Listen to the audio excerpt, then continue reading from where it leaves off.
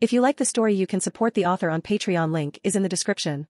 Chapter 1 A Crueler Way of Being When everyone asks themselves if they would sell their soul to the devil to fulfill their desires, what exactly is your answer? I would be willing to do whatever it takes to achieve my goals. In the fabric of human existence, threads of complexity and contradiction intertwine. Humans, inherently soulless beings by nature, demonstrate their innate capacity for empathy and creativity, although this often seems like a convenient facade that hides their true essence of wickedness. Wars are just a drop in the sea of evil, manipulation, and self-gain. Since the dawn of civilization, humans have proven to be tireless destroyers of their own environment.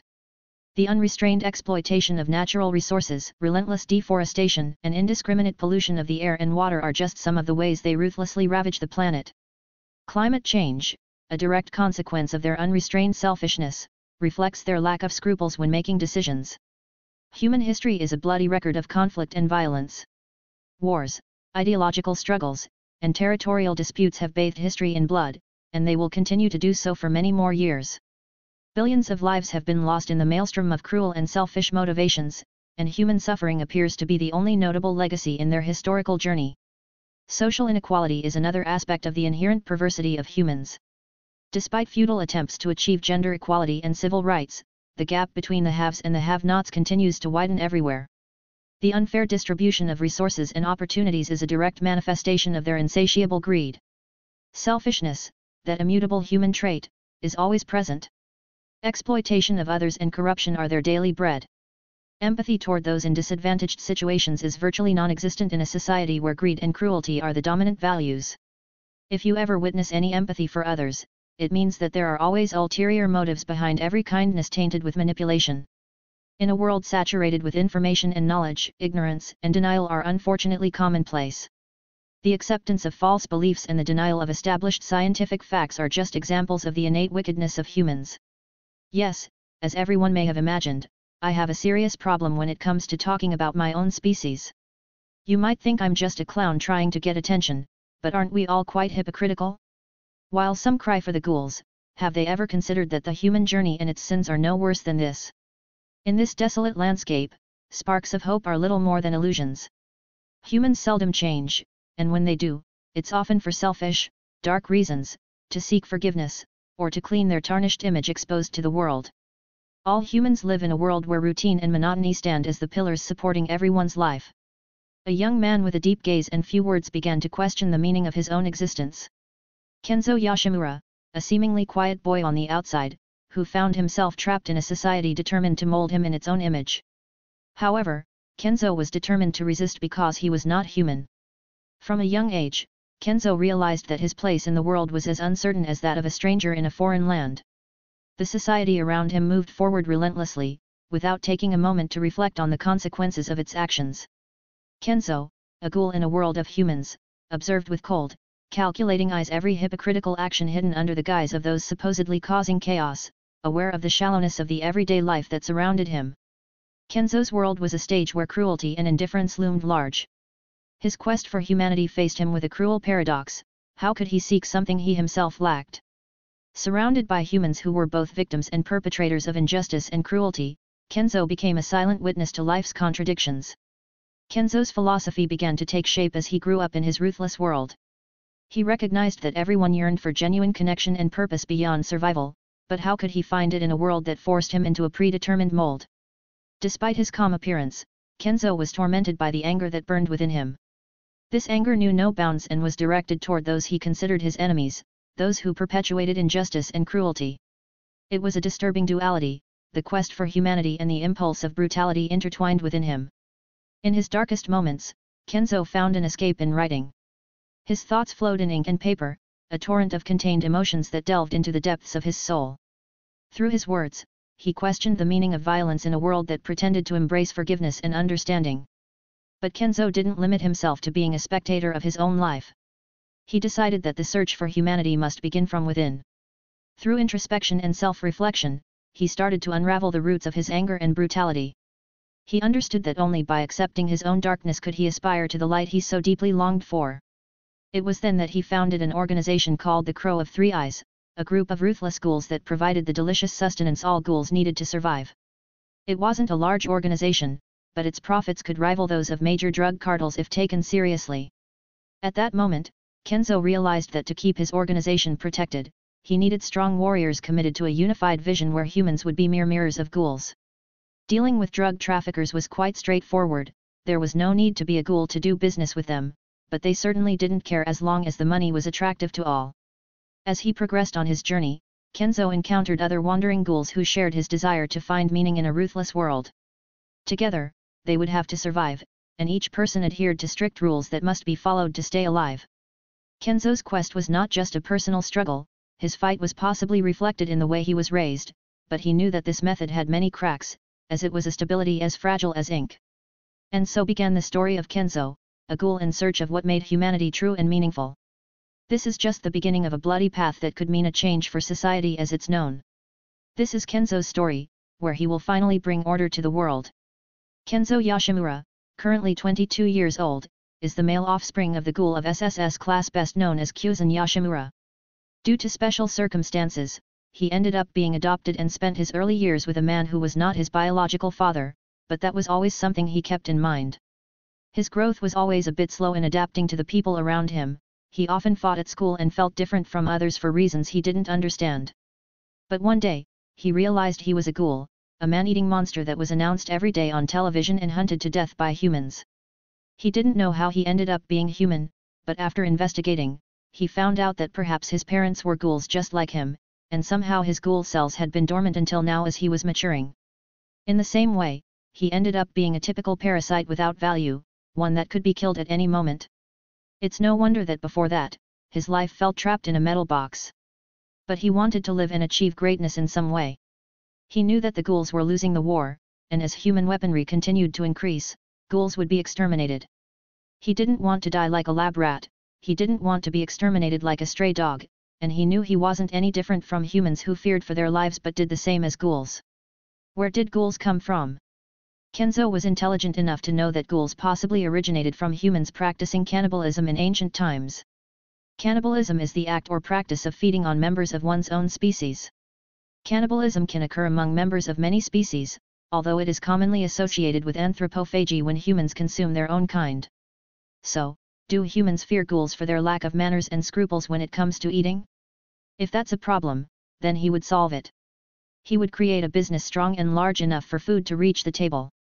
He needed to be strong to survive, he had to be, so that no one would bother him. And he was certainly fascinated by being on the side of ghouls who were like headless dogs waiting to be killed. They needed a leader, perhaps he would become something similar to that. But what Kenzo would seek from now on is a future free of plagues, where both humans would have to accept their mistakes, and ghouls would seek a clean way to survive. As he remembered the memories of his younger self, they flooded his dreams. He remembered those bloody nights of control and struggles. He wasn't strong, he had a powerful Kagun, but he was still weak and needed help from other ghouls whom he personally taught how to feed without being detected.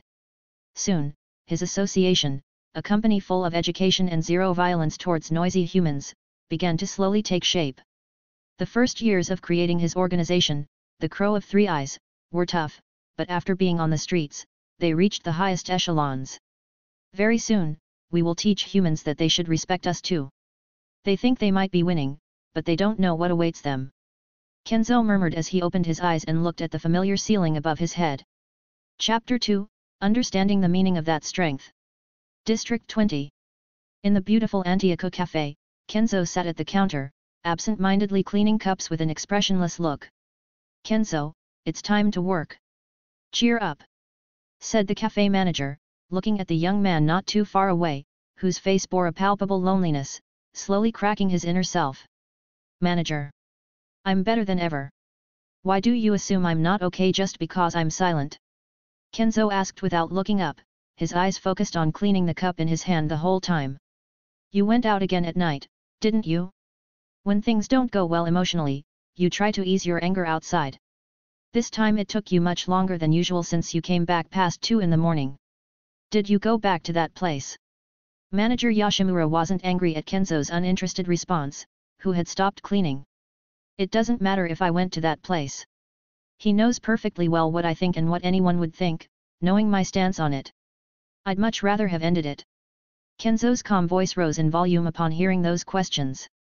Seeing Kenzo's attitude, as he bottled up his anger within himself, manager Yoshimura shook his head with a certain helplessness. He is the owner of this cafe, his full name is Kyuzan Yoshimura, and the apathetic young man was his son from whom he had been separated for many years. To be more direct, he had abandoned him because he didn't have time to take care of him, and for many more complicated reasons to explain in a few words. Years ago, Kyuzan Yoshimura, like most ghouls seeking power and survival, cannibalized ghouls and humans alike, even isolating himself from his fellow ghouls to do whatever it took to live. Then, his abnormal strength soon caught the attention of the organization V, who heard about an abnormally strong ghoul named Kyuzan. In his youth, Kyuzan Yoshimura decided to cooperate with these ghouls and joined the organization to serve as their cleaner, much like a literal cleaner, responsible for eliminating hostile forces to the organization or those who disrupted the world, even ghouls who were just trying to survive. His existence as a ghoul bothered him, seeing himself as a curse that killed others in order to stay alive. Although at that time, Yoshimura had sorted out the issues in his life, he still felt very alone, and the organization hadn't become a place for him. After meeting Yukina, his personality underwent a favorable change. He began to slowly open his heart to her, and ultimately, he came to love her immensely. It was through his relationship with Yukina that Yoshimura decided to create Anteiku and pursue his goal of helping those with a similar past and other ghouls or humans in need. During that time, he learned that his wife was pregnant with twins, but he knew perfectly well that a human couldn't bear a child due to the fact that, in most cases, they would be stillborn due to lack of nourishment. When he coldly shared these words with his wife, Yukina, he thought she would give up on the idea of becoming parents. However, there was a single way for their babies' lives to be saved, and it was at that moment that Yukina started consuming human flesh to provide the necessary nutrients for her children to be born. Yoshimura knew that there was still a chance of not succeeding. But against all odds, a miracle happened, and she gave birth to their beautiful twins, which was extremely rare among ghouls. However, as if this weren't surprising enough, the boy was born completely human. The birth of twins, one girl and one boy, remains a very miraculous case. A half-ghoul girl and a completely normal human boy. The girl's name is Ito, and the boy's name is Kenzo. In other words, the name Kenzo was chosen by Kyuzan himself, who, in other words, was his father, but due to many circumstances, Kenzo didn't consider him as a father. But going back to the past, Kyuzan found Yukina's diary where he discovered that she was a reporter seeking information about V, and the organization, on their side, discovered the relationship between Kyuzan and Yukina. They forced Kyuzan to make a decision, kill Yukina or die together. In an isolated place, Kyuzan chose to flee with Yukina, but she was killed right before his eyes. So, in the end, he escaped with his twin children, Ito and Kenzo. Ito was entrusted to Noro, who was known as Noroi back then when she was a child.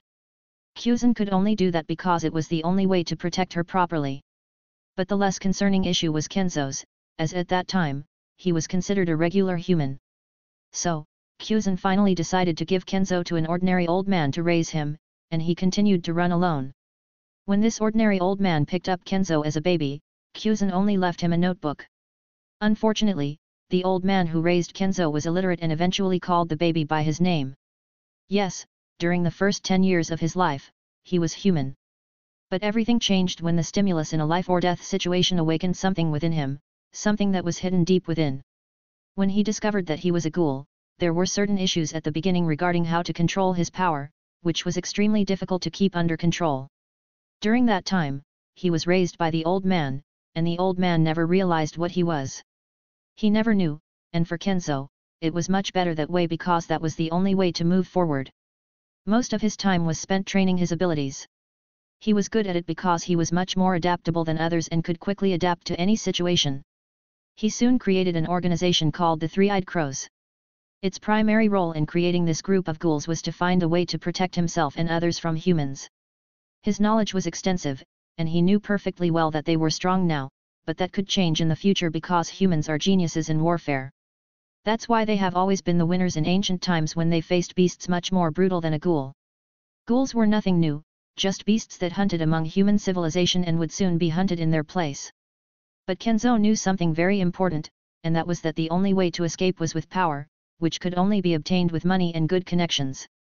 That's why he soon recruited decent ghouls whom he ordered not to kill because that was the key to not exposing themselves to capture. For that same reason, they needed the help of someone who could feed them. This issue was easy to address for Kenzo, the easiest way to obtain human flesh was through traffickers who never lacked corpses to dispose of. What's the best way to get rid of a corpse than to deliver it to the ghouls for consumption? For money, Kenzo had to resort to unethical methods at first, but that was only until he found sponsors. How did he do this? When fears arise that everyone is afraid of, many people do everything they can to protect themselves, including extremely wealthy businessmen who fear for their lives. For them, Kenzo offered a protection program in exchange for cash.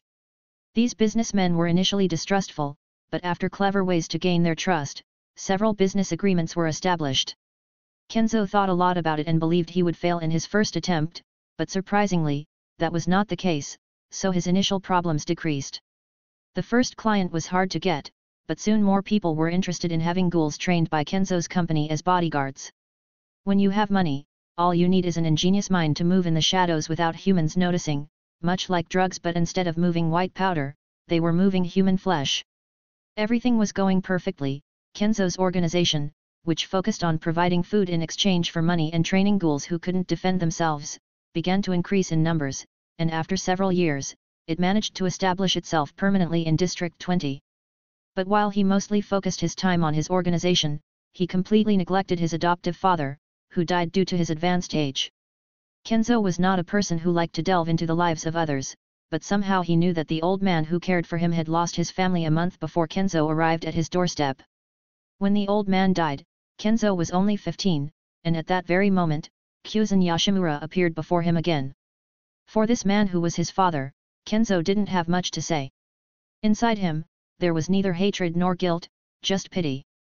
At that moment, he realized that strength was much more important than he had considered, which is why he understood that he had to be strong, and those who followed him had to be much more lethal.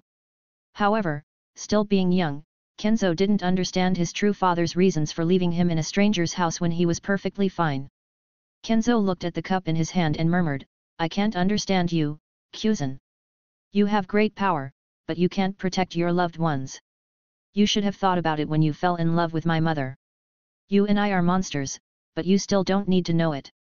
At this point, Kenzo knew his father's identity, but his father still didn't know he was a ghoul. Kyuzen might have suspected it, but he never dared to ask, perhaps out of fear or some sense of guilt at realizing he had been wrong more than he thought. I told you that I take care of the old man's company. He left everything in my name, so even though my presence is not necessary, I have to go once a week to make sure there are no problems. Kenzo didn't know why he was upset, but every time he looked at his father Kyuzen, he felt a deep sense of sadness. Why is this old man who abandoned me so sad? I should be the one who's sad. I should cry and blame you for abandoning me. You have no idea how many times I thought you abandoned me because I was a monster. You have no idea what I had to go through to control my own power. Maybe you'll never know, and that's fine for both of us. For the first time, Kenzo encountered someone he couldn't understand. His heightened senses of perception were not enough to comprehend what had happened to his father Kyuzen, let alone uncover the true story behind his birth. He had investigated, and ghouls are born as ghouls, there is no record of them becoming ghouls after birth. So, he shouldn't blame his father in this regard. Hey, Kenzo! Koma Enji couldn't help but speak to stop him, but a hand touched his shoulder, and Irimi Kaya shook her head. Father and son had always had this discussion every time the day they started living in this cafe approached. Koma Enji looked at Irimi Kaya in confusion and then turned his gaze to manager Yoshimura. I'm sorry, they've made you uncomfortable again, I suppose it'll be this way for a while. Manager Yoshimura said with a slight expressionless smile. But Manager Yoshimura, we're talking about your son, are you going to let him continue like this? Koma Enji was more upset than usual. Hearing this, Manager Yoshimura fell silent. Kenzo was his son, but he was a human like his mother. If he thinks about it, it would be too unfair to reveal the whole truth to him because he didn't want to burden his son's conscience. As a father, he's a ghoul, which can be difficult for any normal human to accept. And since Kenzo is currently the only relative by his side, he can only choose to be as tolerant and understanding of his feelings as possible. Don't say a word. Irimi Kaya shook her head as she arranged the cups that Kenzo had cleaned. I, the famous monkey, will educate Kenzo properly and give him a few kicks to make him behave. Stop talking nonsense, this doesn't concern us. Irimi Kaya warned the loud Koma that now wasn't the time. When Koma looked at the silent manager Yoshimura, he understood that he should stop right now. Haha. Manager Yoshimura, I'm sorry for intruding. Oh, it's okay. Anyway, I wouldn't expect that kid to be of much help in the cafe. Since he's tired, he should rest. Kyuzan Yoshimura didn't mind and smiled a little. I'm back. At that moment, a voice rang out, and a girl with slightly short hair entered the old cafe. Oh, you're here, Touka. How did the shopping go this time? Manager Yoshimura asked with a smile when he saw the girl come in through the door. Well, all the items on the list were successfully purchased. By the way, where's Kenzo? Touka put down the objects in her hands, looked around the place where Kenzo usually was, and couldn't find him anywhere. That boy is still too temperamental. Koma Enji felt a sharp pinch on his back, and his disbelieving eyes turned towards the assertive woman Irimi Kaya. He went back to his room to sleep. Irimi Kaya responded swiftly with an indifferent look. Shaking his head, Koma Enji pointed upstairs. What's he doing this time? That guy has been going out every night recently and doesn't come back until after 2 in the morning. He can't go on like this, I'll call him. Touka heard the words, frowned, and went to look for Kenzo. Oh! After Koma Enji saw this, he shrugged at the store manager. The store manager still didn't mind, he knew Kenzo was getting increasingly confused and would leave him in peace for a while until he decided to approach him. Chapter 3 The Blood Ghoul At this moment, Kenzo was lying on his bed in his room, holding his cell phone while answering some messages.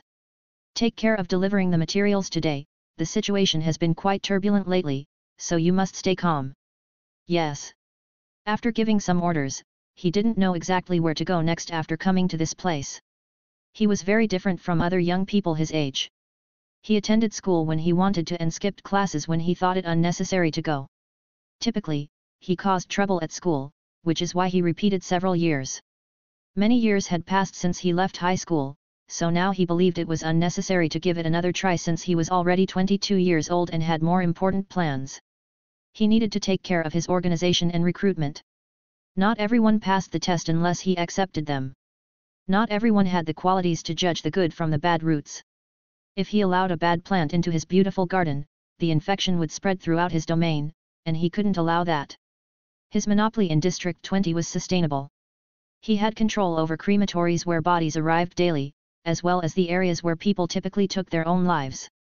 He created websites to help those who had suffered much in life to end their lives, and in turn, he bought the corpses from traffickers who occasionally asked for jobs they couldn't complete themselves. After the death of his adoptive father, he used his meat company to distribute human flesh and launder money effortlessly, where he wouldn't face any problems. Most of the workers had been replaced, but some were still simple humans. The organization of the Three-Eyed Crows was straightforward. They didn't harm humans, and they didn't start fights that weren't worthwhile. Revealing their strength was a death sentence, so the smartest way to act was to control the ghouls and keep the enemy away from District 20.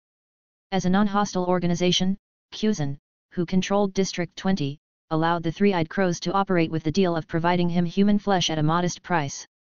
If Kenzo provided it for free at that time, suspicions about his true purpose would arise, which would be a significant problem. The recruitment date is approaching. I should be there for that.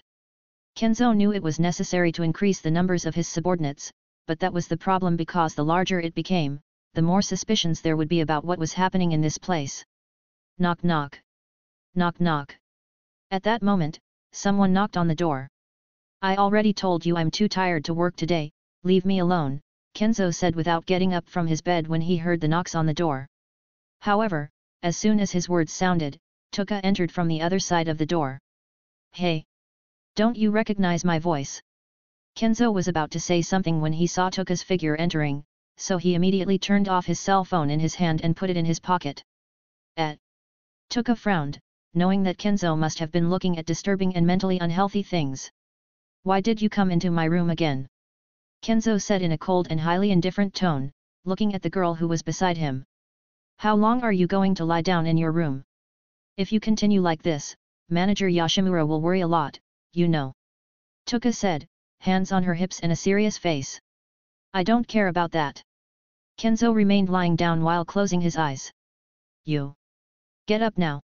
Touka said, taking a step forward and forcibly lifting Kenzo. Stop being so stubborn and get out of here. In no time, a fight between two mad individuals erupted in the room, which continued for some time before Kenzo, who didn't want to mess up the entire room, stopped. Besides, he was sure that everyone knew he was human, although this wasn't the case. Of course, Kenzo had no intention of revealing that he was a ghoul, not for now, as his identity as the Crow Master would be quickly exposed, and Kuzan could pose many problems for his future plans in this place. What would he gain even if the people in this cafe knew? Only pity, of course, many unnecessary questions, and in the worst case, he would get involved in difficult situations with his mysterious business. So, after a small fight, Kenzo let Touka, who was determined to make him and her father Kuzan get along, win. She had been trying for five years. A few minutes later, Kenzo reluctantly put on his work clothes. It seems our dear Touka has a way to redirect Kenzo. Koma Enji couldn't help but silently congratulate Touka. Speaking of which, Touka and Kenzo have known each other since they were very young, and their age difference can be 3 to 4 years. However, due to Kenzo's circumstances of constantly repeating school years, they even managed to go to high school together, so their relationship is relatively good. He was smart enough to understand that Touka behaves this way, very shy and cold with strangers, but extremely sincere and careful with acquaintances. Kenzo labeled Touka's profile as cold, reserved, and even hostile, but transforming into someone warm, sensitive, and friendly on occasion. All the symptoms of that so-called tsundere, how chilling. Kenzo thought as he walked to his workstation while recalling what he knew about Touka. She hates CCG investigators, although she is hostile to humans, she is very kind when dealing with her human friends. However, not even Kenzo has spare time to try to find out if this behavior was just something she did to fit into the society that every ghoul wanted to belong to. Hey, you brat, what would you like to drink? At that moment, Kenzo was taking an order from a customer. The boy, around 18 years old, looked at Kenzo, who had the appearance of a man who only knew how to seek trouble.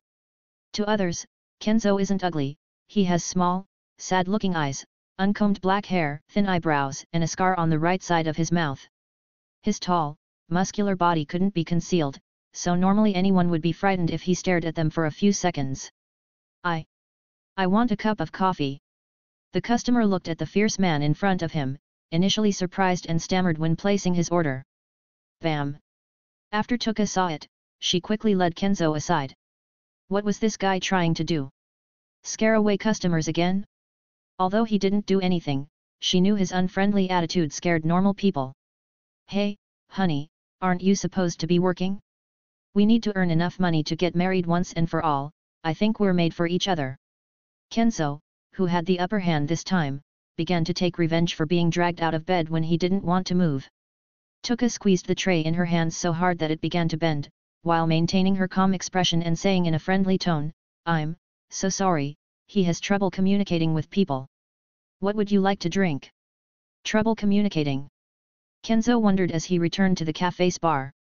But at that moment, a slender yet strong hand grabbed him by the arm, and Touka, who had suddenly appeared, took him to the back of the cafe and asked in a cold tone, Hey, brainless gorilla, do you want to ruin this place with your terrible customer service? Looking at Touka's slender body so close to him, Kenzo brought his face closer to hers and whispered, Hey, Touka, we're of marriageable age. There's no better marriage than a young one with a lot of energy.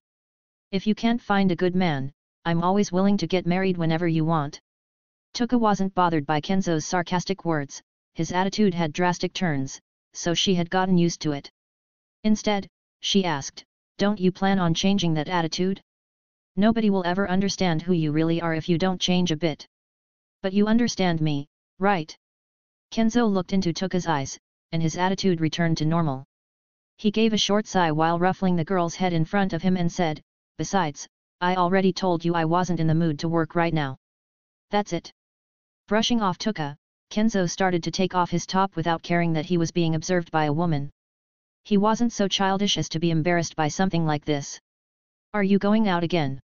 Seeing Kenzo change his clothes, Touka asked with suspicion. I'm just going for a walk. You've accompanied me on occasion, and in case you're worried, I don't have a girlfriend out there. If I ever choose someone, you'll be my first choice. Am I romantic enough? Kenzo asked as he turned around and walked straight to the door. Just as Touka was about to follow him, Yoshimura appeared in front of her to stop her.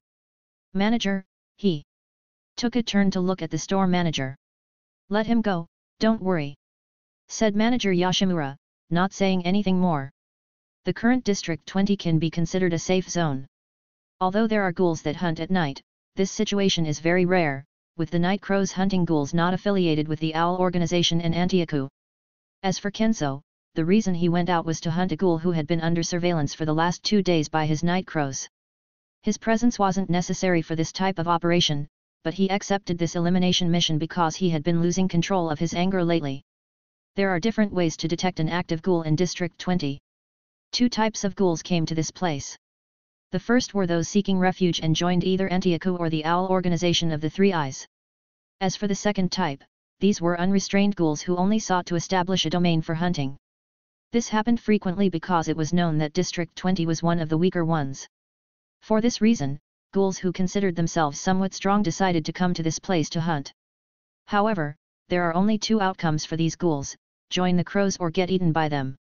Anteiku typically doesn't directly involve themselves with these ghouls, but they do provide warnings.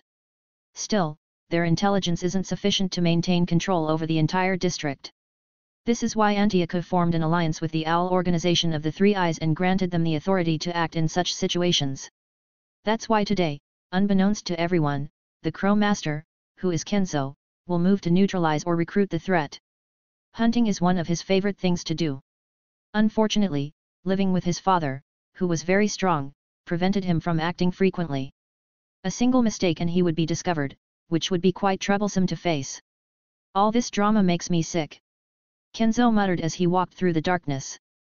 Throughout all these years, Kenzo has had a reason to create his organization and protect himself from both humans and other ghouls.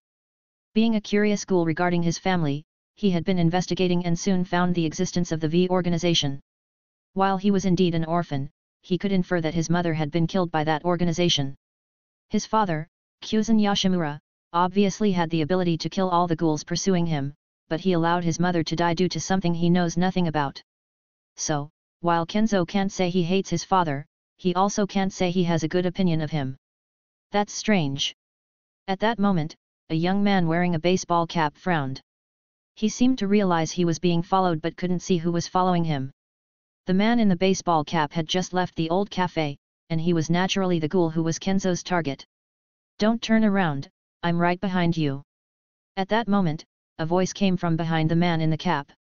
Thud the man suddenly turned around and struck the person following him with all his might.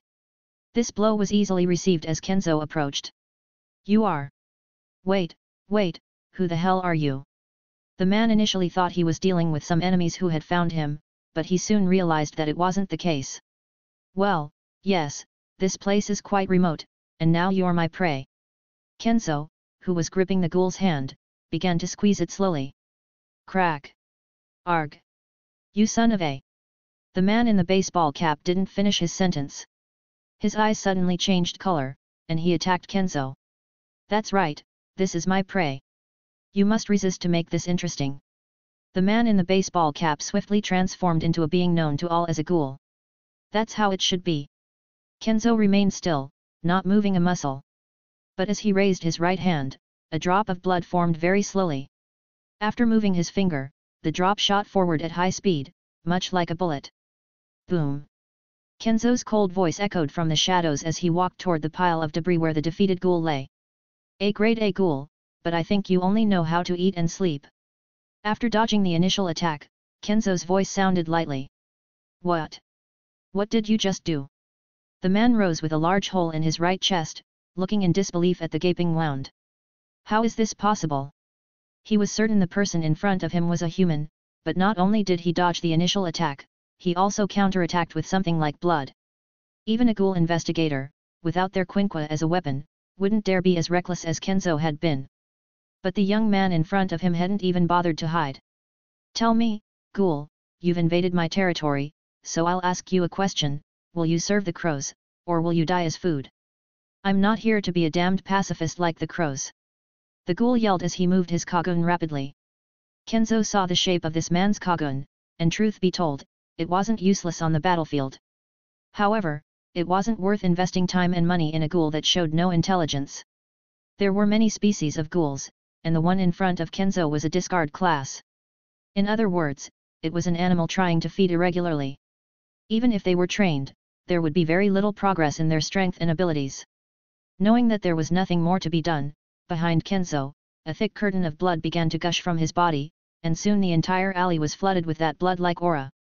His right arm, one of his main Kagun forms, was slowly covered by this mist that seemed to be alive. However, he knew his enemy was not formidable enough to use his Kagun. In an instant, Kenzo disappeared from his position, only to reappear like a phantom behind the ghoul who had openly displayed his Kagun. In this desolate alley, only a man's scream echoed in the middle of the night. Chapter 4 Movements in District 20 Retrieve the package, it contains valuable material that can be used by another subject. In the middle of the alley, a ghoul lay lifeless with a large hole in its heart. Kenzo's right hand, on the other hand, had slight bloodstains, but these stains were gradually wiped away by the curtain of blood that surrounded him, eventually erasing all traces of blood from his body. After a few brief minutes, a dozen figures with crow masks appeared around Kenzo, who remained expressionless. His gaze turned toward the deformed crow mask at the center, and he asked, What's the situation, Viper? A high-class female ghoul of Class S has entered District 20, and her way of devouring her victims is highly concerning for our stability. But as we've been investigating, her background is far from normal because she didn't enter District 20 alone.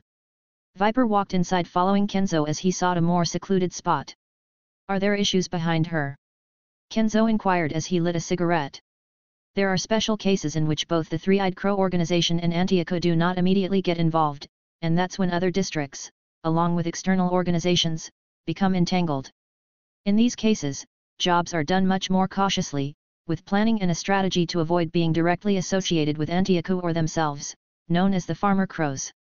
Although they don't typically distribute their product outside District 20, they do so at a much better price than usual and only deal directly with organizations that are worth maintaining good relations with.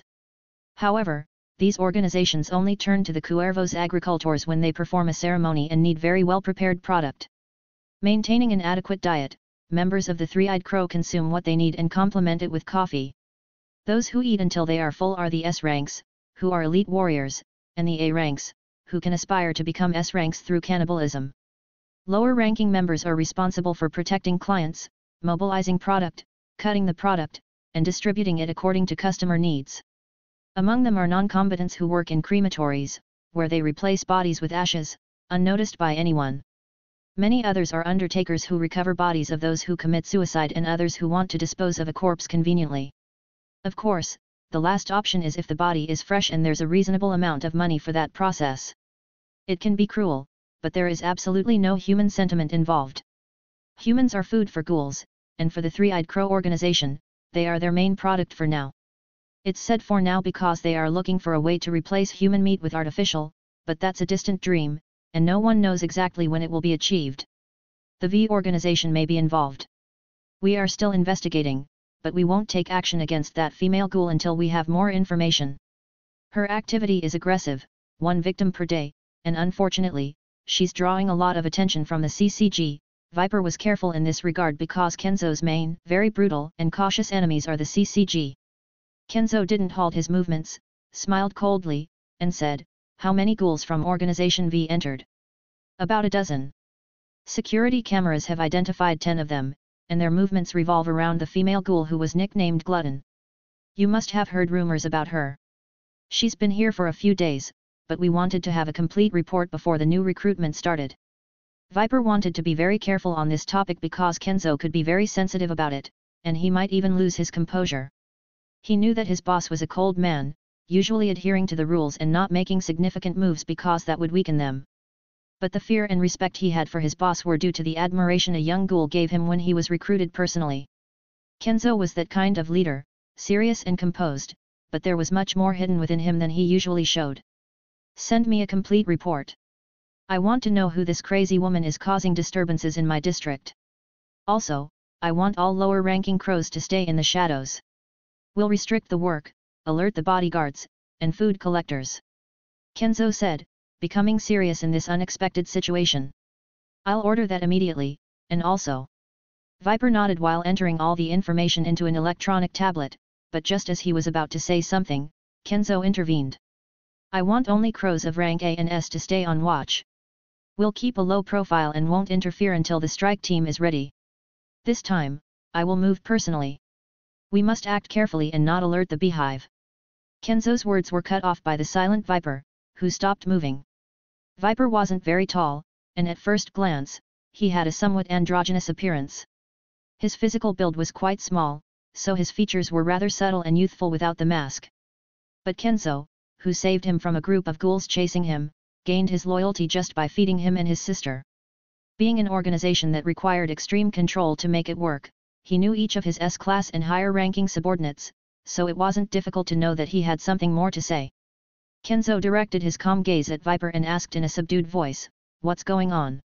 His blood scent seems stronger than usual. Has he done something recently that would make him stand out? That sweet blood scent is mixed with that of a ghoul, but it's subtle and can only be sensed with a keen sense of smell. Viper thought for a moment but finally mentioned what was bothering him. Kenzo sniffed his body and said, that is a problem. I knew it would happen, but not this soon. Although I don't need to feed on human food, I have to maintain my human meat diet to keep my combat abilities at their best. I suppose my ghoul cells are becoming stronger, and it's becoming difficult for me to conceal my scent. Over 11 years ago, he awakened as a ghoul, his irises turned red, and his sclera black. The desire to consume human flesh filled his every muscle, and his Kaku-type Kagun fully manifested over his body.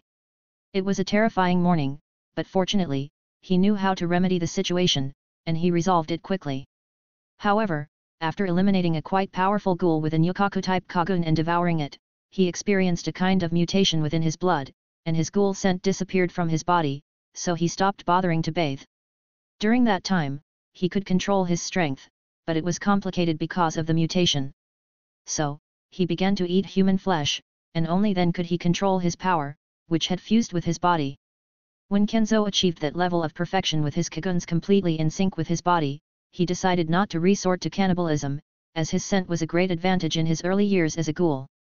This strategy worked very well in establishing his organization, the Crow of Three Eyes, and he began calling himself the Master Crow. However, he knew that at some point, his strength would be so great that he couldn't help but sweat the scent of a ghoul from his body. You know I have a sensitive nose, so nobody should find out, at least not for a few more months. Viper turned his head toward the distance and advised, but due to your constant interaction with those in the cafe, they might already know or find out much faster than expected. Kenzo nodded, walked back to the main street where three black cars were parked quietly at the side of the main avenue. His eyes turned towards the people walking with their partners, spouses, and children. A world destined for destruction, it will be much more challenging than he imagines to maintain balance, especially now. Putting that aside, the V organization, like all other districts, regards us poorly. This could be a surprise factor in our favor if they show an interest in this place after killing those intruders. Kenzo's eyes grew cold as he warned, although we want peace in this place, I'm sure in the districts they control, violence is permitted. Bringing the war to their doorstep. Viper understood what Kenzo meant, indeed, a brilliant idea worthy of an incredibly successful leader. Kenzo walked towards the central black car, and a man in a black suit opened the door. Take me close to the cafe, then return and rest. Things are getting more interesting. Yes, sir. The people without masks were ghouls hidden in their beautiful black suits, all of them working in a private security company providing their services to entrepreneurs. Having removed his mask, Viper revealed his beautiful blonde hair and pale blue eyes. With a calm look, he pulled out a file with various documents and said, although it's not everything we know, knowing that I was going to meet you, I wanted to bring this and hand it to you. Taking the file with numerous documents, Kenzo furrowed his brow as he perused the detailed report prepared for her after disrupting the order in District 20. I can see it was almost everything. Kenzo saw the comprehensive report and felt proud of his organization. They were getting closer to perfection with each step. Now, looking at the gluttonous ghoul, whose real name is Riz, she's a slim girl with long, straight, bright purple hair, purple eyes and an hourglass figure. Like other ghouls, she blends into human society, often wearing stylish, form-fitting outfits suitable for a young woman, demonstrating a preference for dresses. In all the photos Kenzo found, he knew that this woman was a very dangerous viper he had to be extremely cautious of. A misstep, and his identity as the master crow of his mysterious organization would be exposed, at least within the ghoul world. Master Crow, you mustn't involve yourself in this minor issue, the crows will handle it for you, and you won't risk being discovered. Tell me, do you want us to kill her? Viper couldn't hide his worried expression, despite his efforts. Kenzo smiled a bit and said, something doesn't add up. I want to know why she is of interest to the V organization and determine if her value is important for finding a weapon to use if necessary. Reading the files, Kenzo discovered that unlike some ghouls, Riz is independent and acts on her own without following any rules. She typically uses her attractiveness to lure victims, who always fall into her traps. She doesn't seem to have any ambitions, constantly seeking to kill her boredom in any way. If she is a ghoul, she should visit some coffee places, and the most famous one in this district is Anteiku, known only to ghouls. I will eventually get to know her. So Kenzo said, select a strike team, we'll move when the V organization takes action against Riz. However, before we act, we need to know what they want from her, and then we'll proceed. Your orders are my will, Master Crow. Viper couldn't do anything when Kenzo made a decision, so he had to accept it, although it was somewhat risky. Nevertheless, he didn't fear for Kenzo's safety but for those who would be their enemies. While Kenzo hated the V organization for killing his mother, his ambition and coldness went beyond his emotions. His control over his plans could be so extreme that nothing escaped him, so he couldn't let his emotions cloud his judgment. He would eventually eliminate the V organization, and an incredibly attractive opportunity had just presented itself. Chapter 5 I Can't Ignore the Scent of Blood. The number of ghouls in District 20 is much smaller than in other districts, which is why special recruitment efforts are made in other areas. Many who wish to lead a peaceful life arrive at the doors of the Crow's Third Eye organization. Why is this organization called that? It's quite simple, the crow is a creature of the night and can see everything at all times. If it exists, the crow's third eye organization can discern the truth in no time. Additionally, rumors had it that the crows from this organization neutralize ghouls before they even make their first move in District 20. Their level of tranquility and the energy they spend to protect their existence from humans are a mockery to all ghouls from other districts. Why shouldn't they hunt their victims and devour anyone who looks appetizing? Many couldn't grasp the lifestyle sought in District 20. What is sought here is the integration of ghouls into human life. Obviously, there are other ghouls with much higher objectives than just living quietly. Some seek revenge, while others simply want to be part of the mysterious Crow's Third Eye organization. How many ghouls are in their ranks? Perhaps hundreds, even thousands. But those who have joined them know that there are not only fighting ghouls but also those who lead a normal life. Only those who are part of the Crow's Third Eye organization know the feeling of living without fear. They can all work to earn money, buy human flesh as if it were bread, and earn a proper salary for any kind of needs they have. Kenzo focused on creating his own functional system with ghouls. They would be his workers, and in return, they would receive food, money, and protection from him. What does he get in return? Their gratitude and loyalty. Everyone thinks District 20 is weak, but no organization has wanted to take this place. Even before Kenzo's organization existed, there was some level of tranquility in this area. However, with their presence, there were very few cases of disappearances and even fewer of mutilations. Investigators had been sent, but none had returned. So the attention and resources that would have been spent on a weak region were instead focused on the stronger ones to increase their influence and power. To survive, peace, tranquility, or drinking coffee every day are not needed. Kenzo knew that survival required an impenetrable security system, contingency plans, protocols, and a well-preserved food supply. Making money is easy, the challenge is keeping hundreds of mouths fed without problems.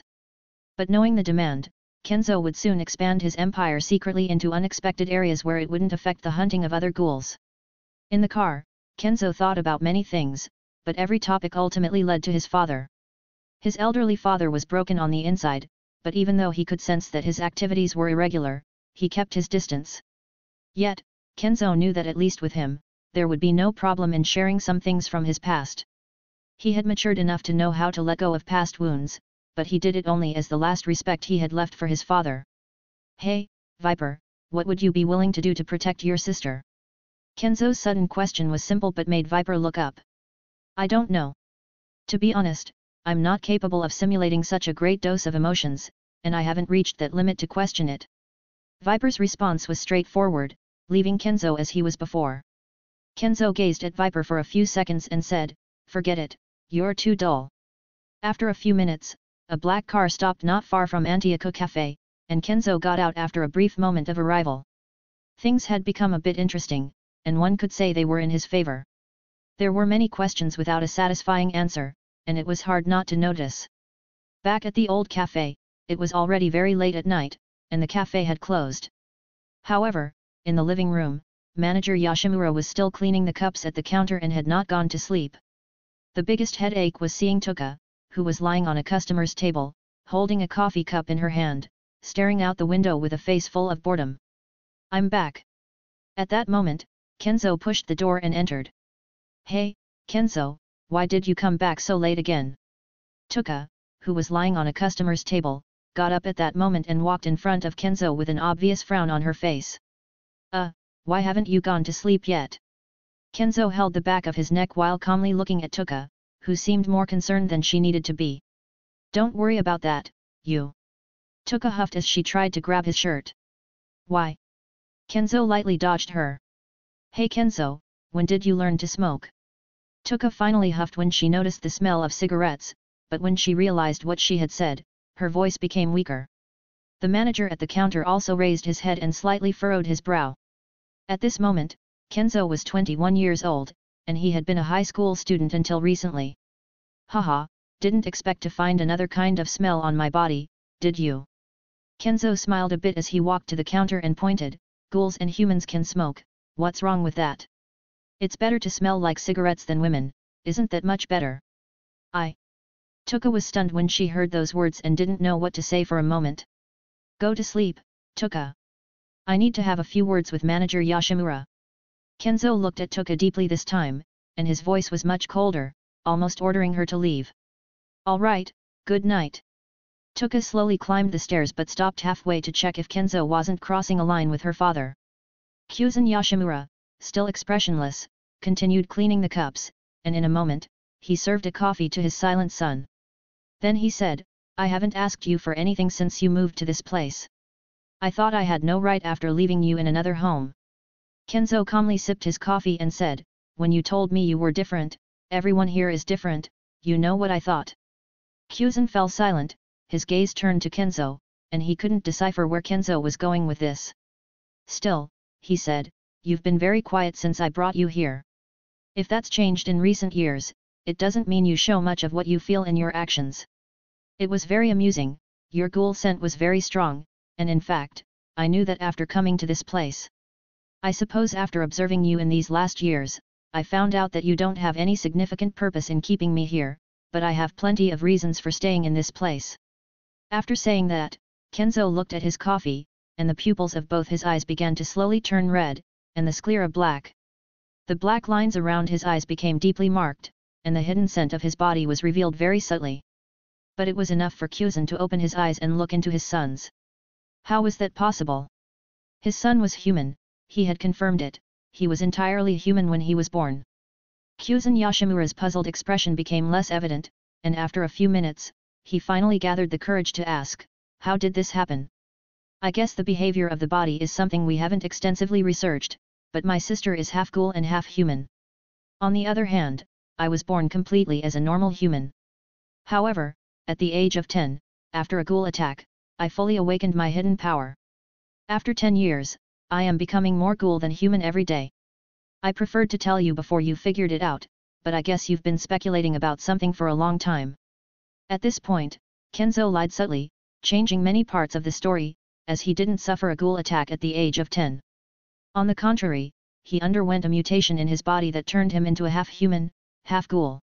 However, as time passed, his ghoul side was becoming more dominant, and slowly, the scent of his body, even noticed by Viper, would become more evident. Staying at Anteiku was only to gather any history about his family from his father's words, but he never told him anything, which annoyed him every time he thought about it. Over the years, he grew somewhat fond of this place, but his mission was much bigger than this simple life, and he knew it perfectly. It's not necessary to delve into my experience, but I joined the Cuervo de Tres Ojos organization. They took care of me and trained me when I thought I was just one of those monsters you hear about in the news. Kenzo drank his coffee and said, You know what I want from you, father. Tell me personally, why did you let them trample over you? Kyuzan Yoshimura had accepted that his son hated him, after all, he had told him part of their story, omitting significant details. Taking a deep breath, he looked at his son and said, I needed to keep them safe. Your mother knew it, and that's why I decided to do what was necessary to save them. Although Kenzo didn't expect anything, he was still extremely angry. He looked at his father one last time and said, You are very strong, father. I'm sure you're strong enough to eliminate the entire V organization, but despite that, you lost brutally. Anyway, don't tell the others about what I told you. I will leave here before they realize I'm a ghoul, so there won't be any need to waste energy on that. Leaving Kyuzan Yoshimura in silence, Kenzo went up the stairs to his room. As he watched Kenzo's back as he climbed the stairs, Yoshimura sighed and couldn't say anything. In fact, he could sense what was happening with his son's body, but he really didn't expect that after being human for 10 years, he would become a ghoul shortly after. The stimulation he had suffered in that ghoul attack must have awakened something inside him, granting him access to his dormant ghoul side. Right now, when Kenzo entered his room, Yoshimura stopped what he was doing and sighed, knowing that his son was trying to seek out his past. Every night he would go out to eliminate unaffiliated ghouls, somehow following the orders of the Cuervo de Tres Ojos organization. I was careless. Yoshimura murmured as he turned off the lights in the cafe. He already knew that his son had a connection to the Cuervo de Tres Ojos organization, which is why he decided to trust them. He was not disappointed since, for ten years, they had done nothing more than live peacefully, just like Anteiku. All he wanted now was to heal Kenzo, and for him to do the same for his sister. Both of them had to live free of the vengeance that would eventually consume them. At least, they could. Chapter 6 How had I not realized before? I should have stayed to listen. Touka rolled on her bed while thinking about what she might have discovered if she had eavesdropped on their conversation. After a few seconds of eavesdropping, she had decided to leave out of respect for boss Yoshimura and Kenzo, both of whom needed to clear their differences but had never done so before. Perhaps tonight would be the night, so she finally decided to leave after thinking about it for a long time. I hope both of them manage to get closer. Touka finally fell asleep, imagining what Kenzo was talking about with his father. Kenzo slept soundly throughout the night. In his silent, dark room.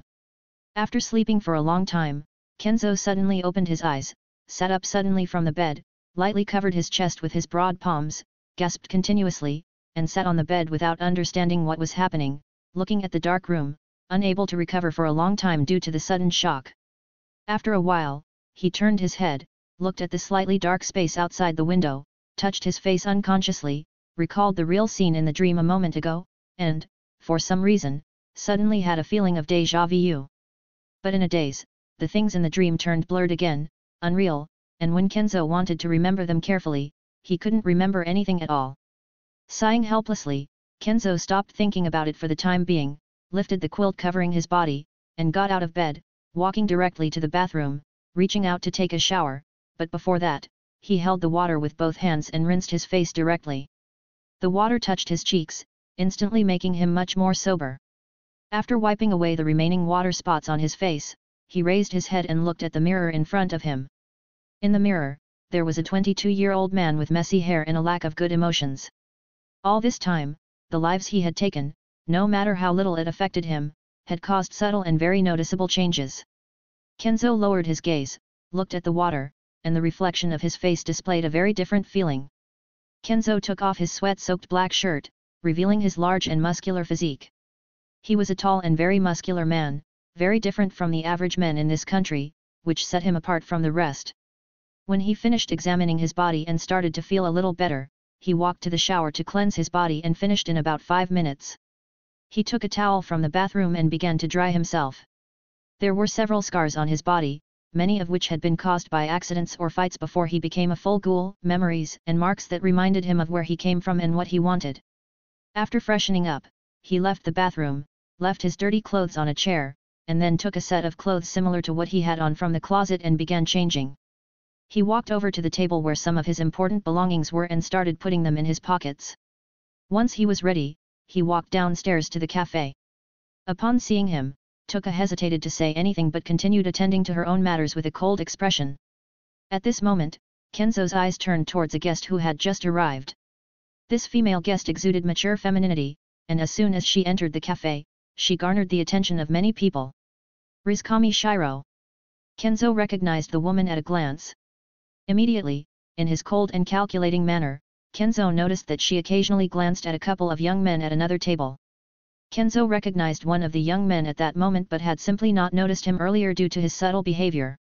This young man is, naturally, the boy he had called a brat the day before, and from the loudness of his friend, he should be called Kaneki. It's just that Kenzo's attention quickly returned to Rize Kamishiro. Indeed, this woman was exactly like the report he had received about her, and she truly exuded a very enticing aura. The way she hunted made her act in that manner, a straightforward way to attract men, but it's certainly much more striking if she does it in a cafe where many of the customers are ghouls. While Kenzo was lost in his thoughts, a voice beside him slowly reminded him, Kenzo, don't be fooled by this woman's appearance, you'll end up more than hurt if you are not careful. Manager Yoshimura had appeared by his side and cautioned him while preparing coffee. Oh! Kenzo, who had a bored expression, felt a little annoyed, recalling that he had provided information the day before but hadn't received anything in return from his father figure.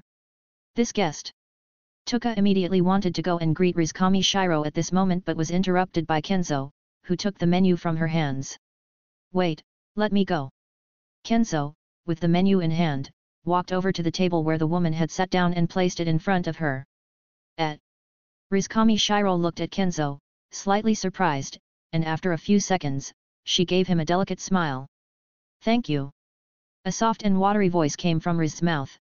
Her seduction skills were very refined, but it was a pity that Kenzo was colder than ice on the inside, and such situations didn't affect him.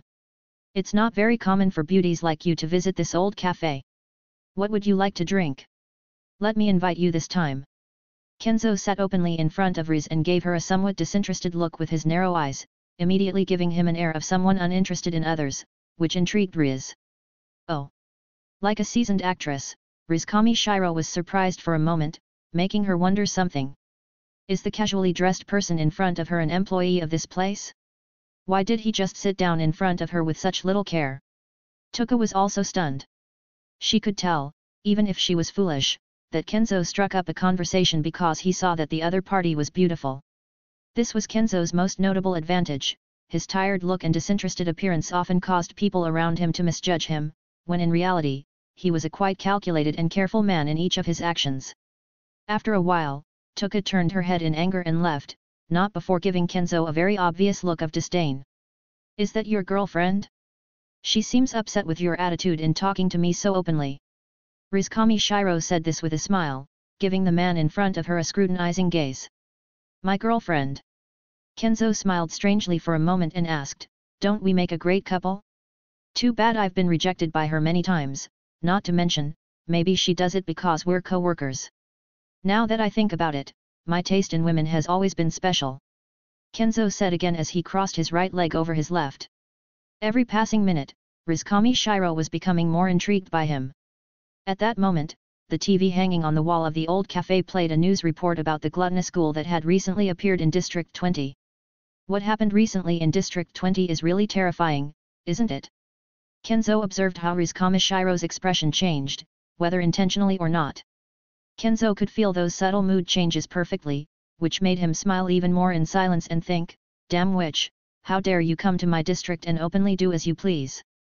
If you weren't so valuable, I'd have crushed you a thousand times against the ground.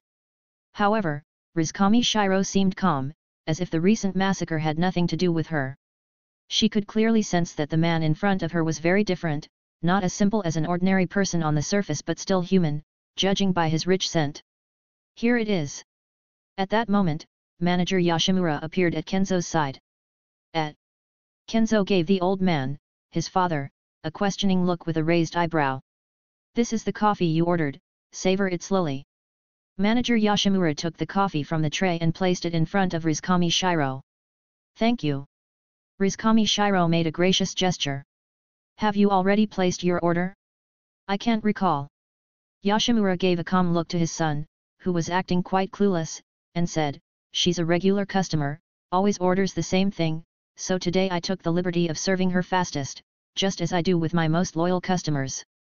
That's what you call customer service. Kenzo stood up and left at that moment. He knew that his father obviously knew that Rize Kamishiro was the glutton who recently appeared on television.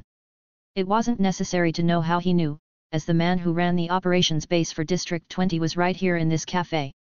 Anything that happened here, as long as Kuzen Yoshimura wanted to know, was impossible to hide by any means. Hey! Took a look at Kenzo approaching, snorted with arrogance, and cast an obvious look of disgust towards Rize Kamishiro. Kenzo's disinterested gaze soon found Touka's, and an affectionate smile appeared on his face as he asked, Don't tell me, is my dear Touka jealous? What did you say? Kenzo leaned in, extended his hands, and held Touka's waist while no one was looking. He spoke with a smile, you will be the woman I marry, but dear, don't be jealous. You shouldn't stop your amazing friend from talking to other women. Only you are in my eyes, I don't usually approach anyone I don't know. Sicko, do you know who that woman is? Touka said with disdain as she tried to remove Kenzo's large hands from her waist. Well, who is she? Kenzo asked mischievously as he leaned closer to the girl in front of him.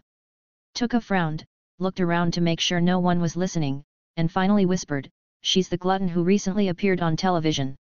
Oh, I'm so scared.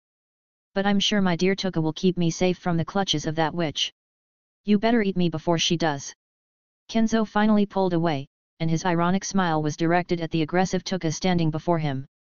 One of his most entertaining moments was teasing this woman, who seemed to harbor a deep hatred beneath her kindness.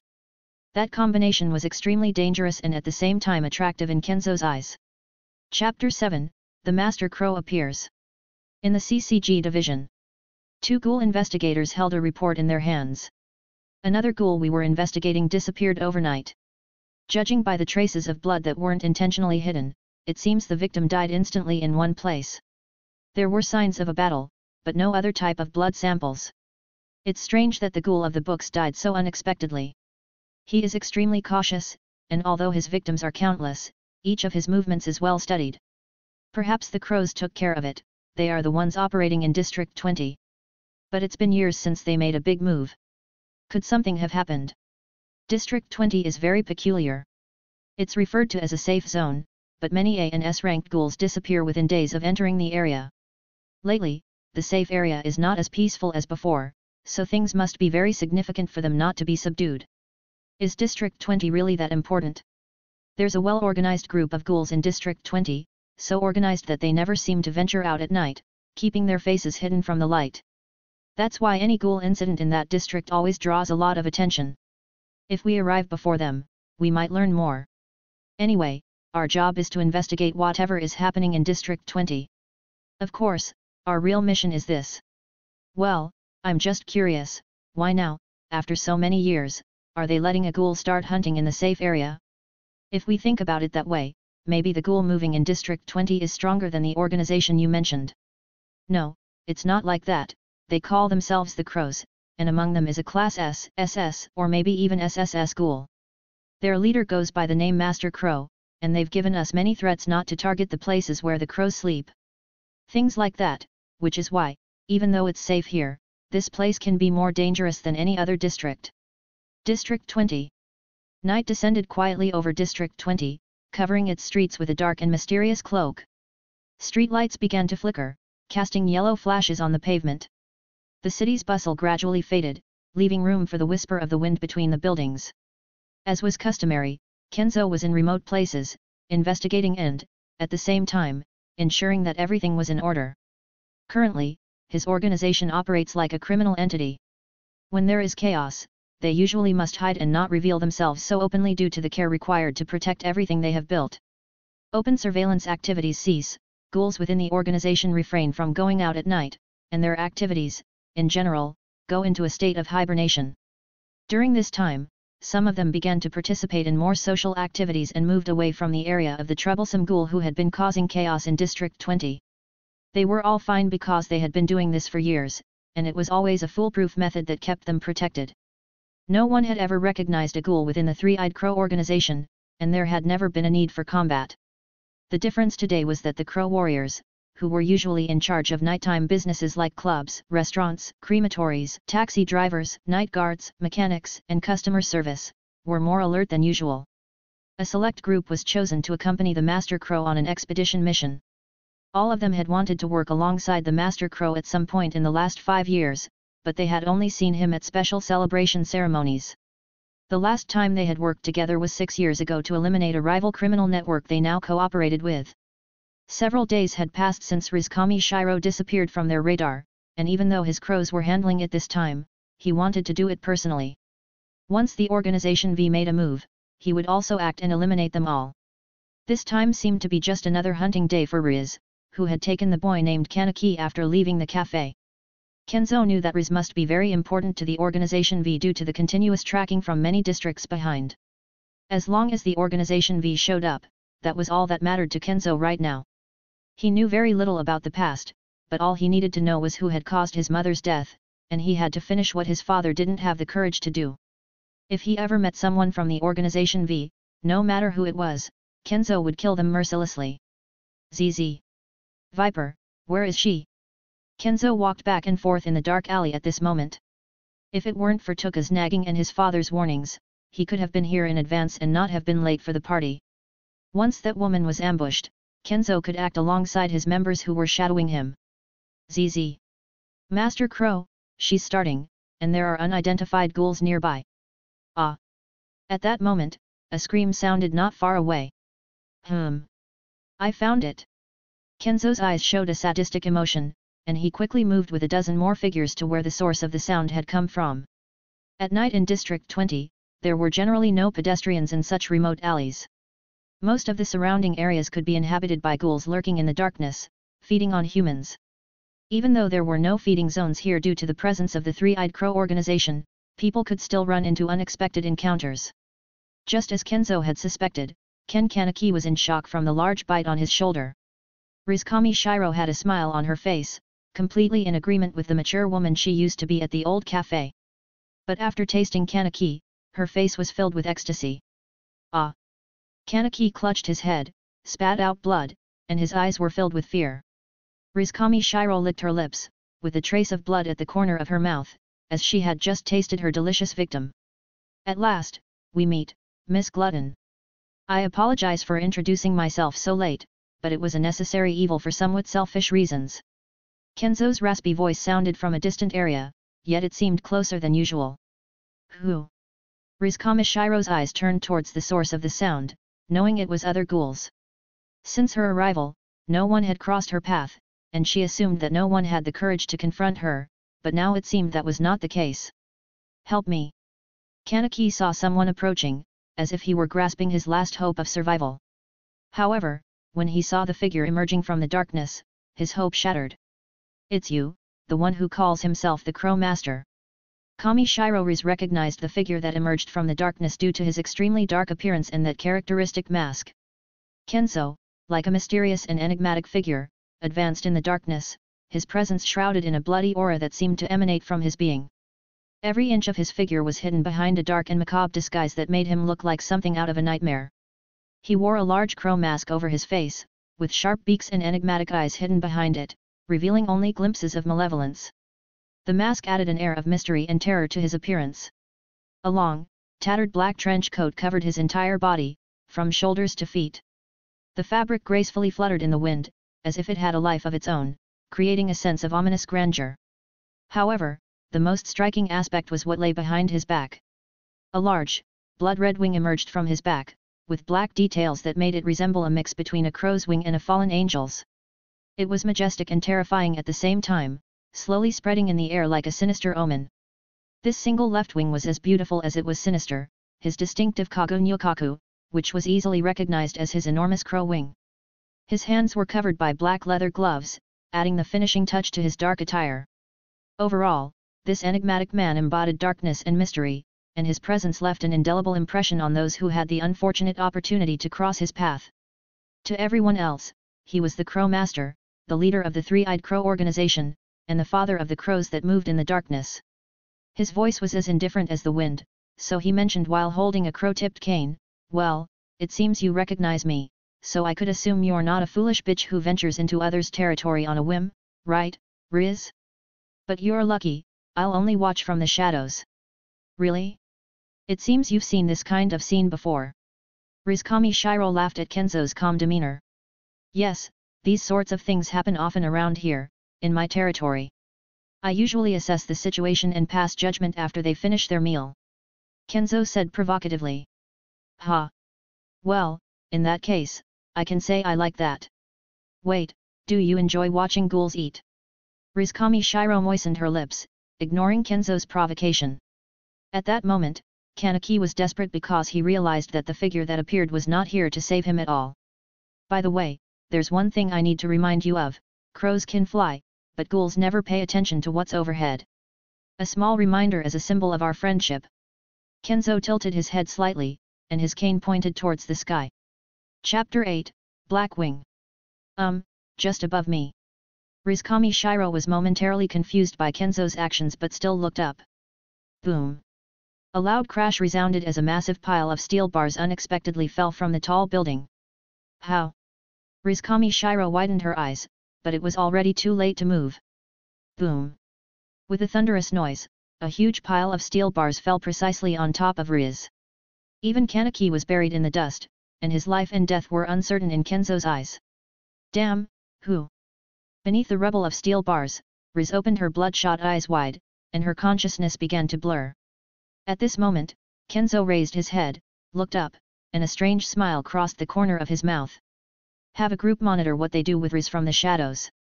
Do not act until I order, but if you see that she is being taken out of District 20, retrieve her her body, alive or dead, I don't care. Yes, Master Crow. At that moment, Kenzo waved his Kagune and, with just the rush of air, ascended to one of the upper floors of the under-construction building, where several dark figures were peering down. If we are not mistaken, that is the Master Crow, about whom little is known, but he ensures that District 20 remains calm. What should we do? Let's go. We are at a far enough distance that he won't catch us.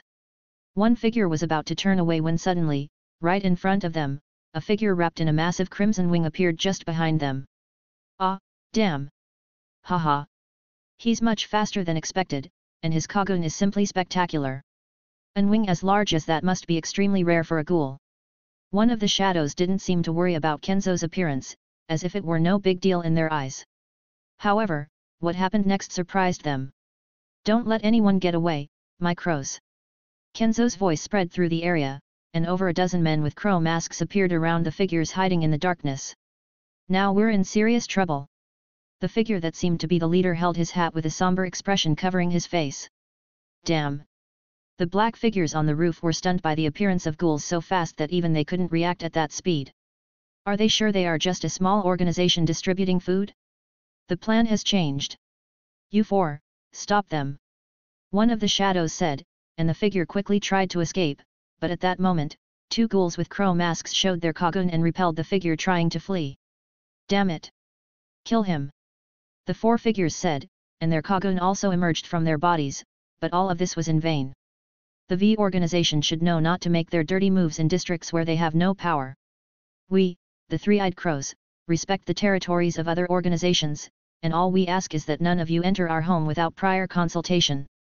Kenzo's words echoed in the surroundings, and before they realized it, he had vanished as if he were a ghost, and a surge of a bloody aura spread throughout. Who did you ask for permission to intrude in my home? At that moment, Kenzo's figure reappeared as a shadow beside one of the ghouls who were in formation, and with a single sweep of his wing, he cleaved them in half. Boom! One of the ghouls had reacted quickly and launched several Kagune projectiles at high speed, but Kenzo shielded his body with his enormous wing. Boom! Boom! Boom! Having protected himself from any harm, with a swift movement of his wing, the dust scattered around, and the remaining ghoul's eyes closed for a few seconds.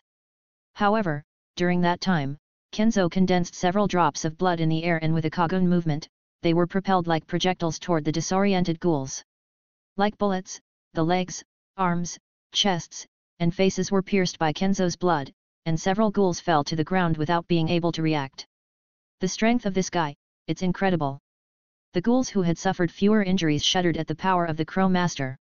The rest remained on the ground, unable to get up due to the severe injuries caused by just a drop of Kenzo's blood. I wonder why a bunch of losers like you were sent to pursue Rize, even going so far as to pay money to other districts to catch her. Kenzo stood in front of the remaining ghouls, looking at them with a sense of disdain in his words. Cough cough.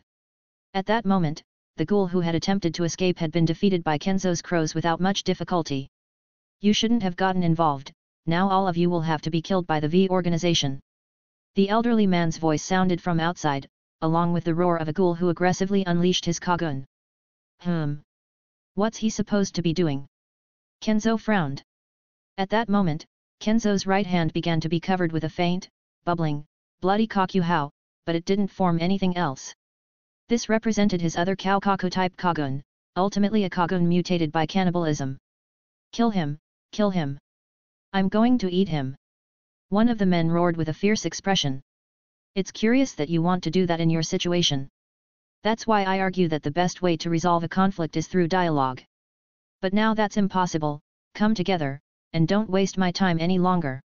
Kenzo's roar was aggressive, so he stopped wasting time trying to obtain any information from these idiotic ghouls.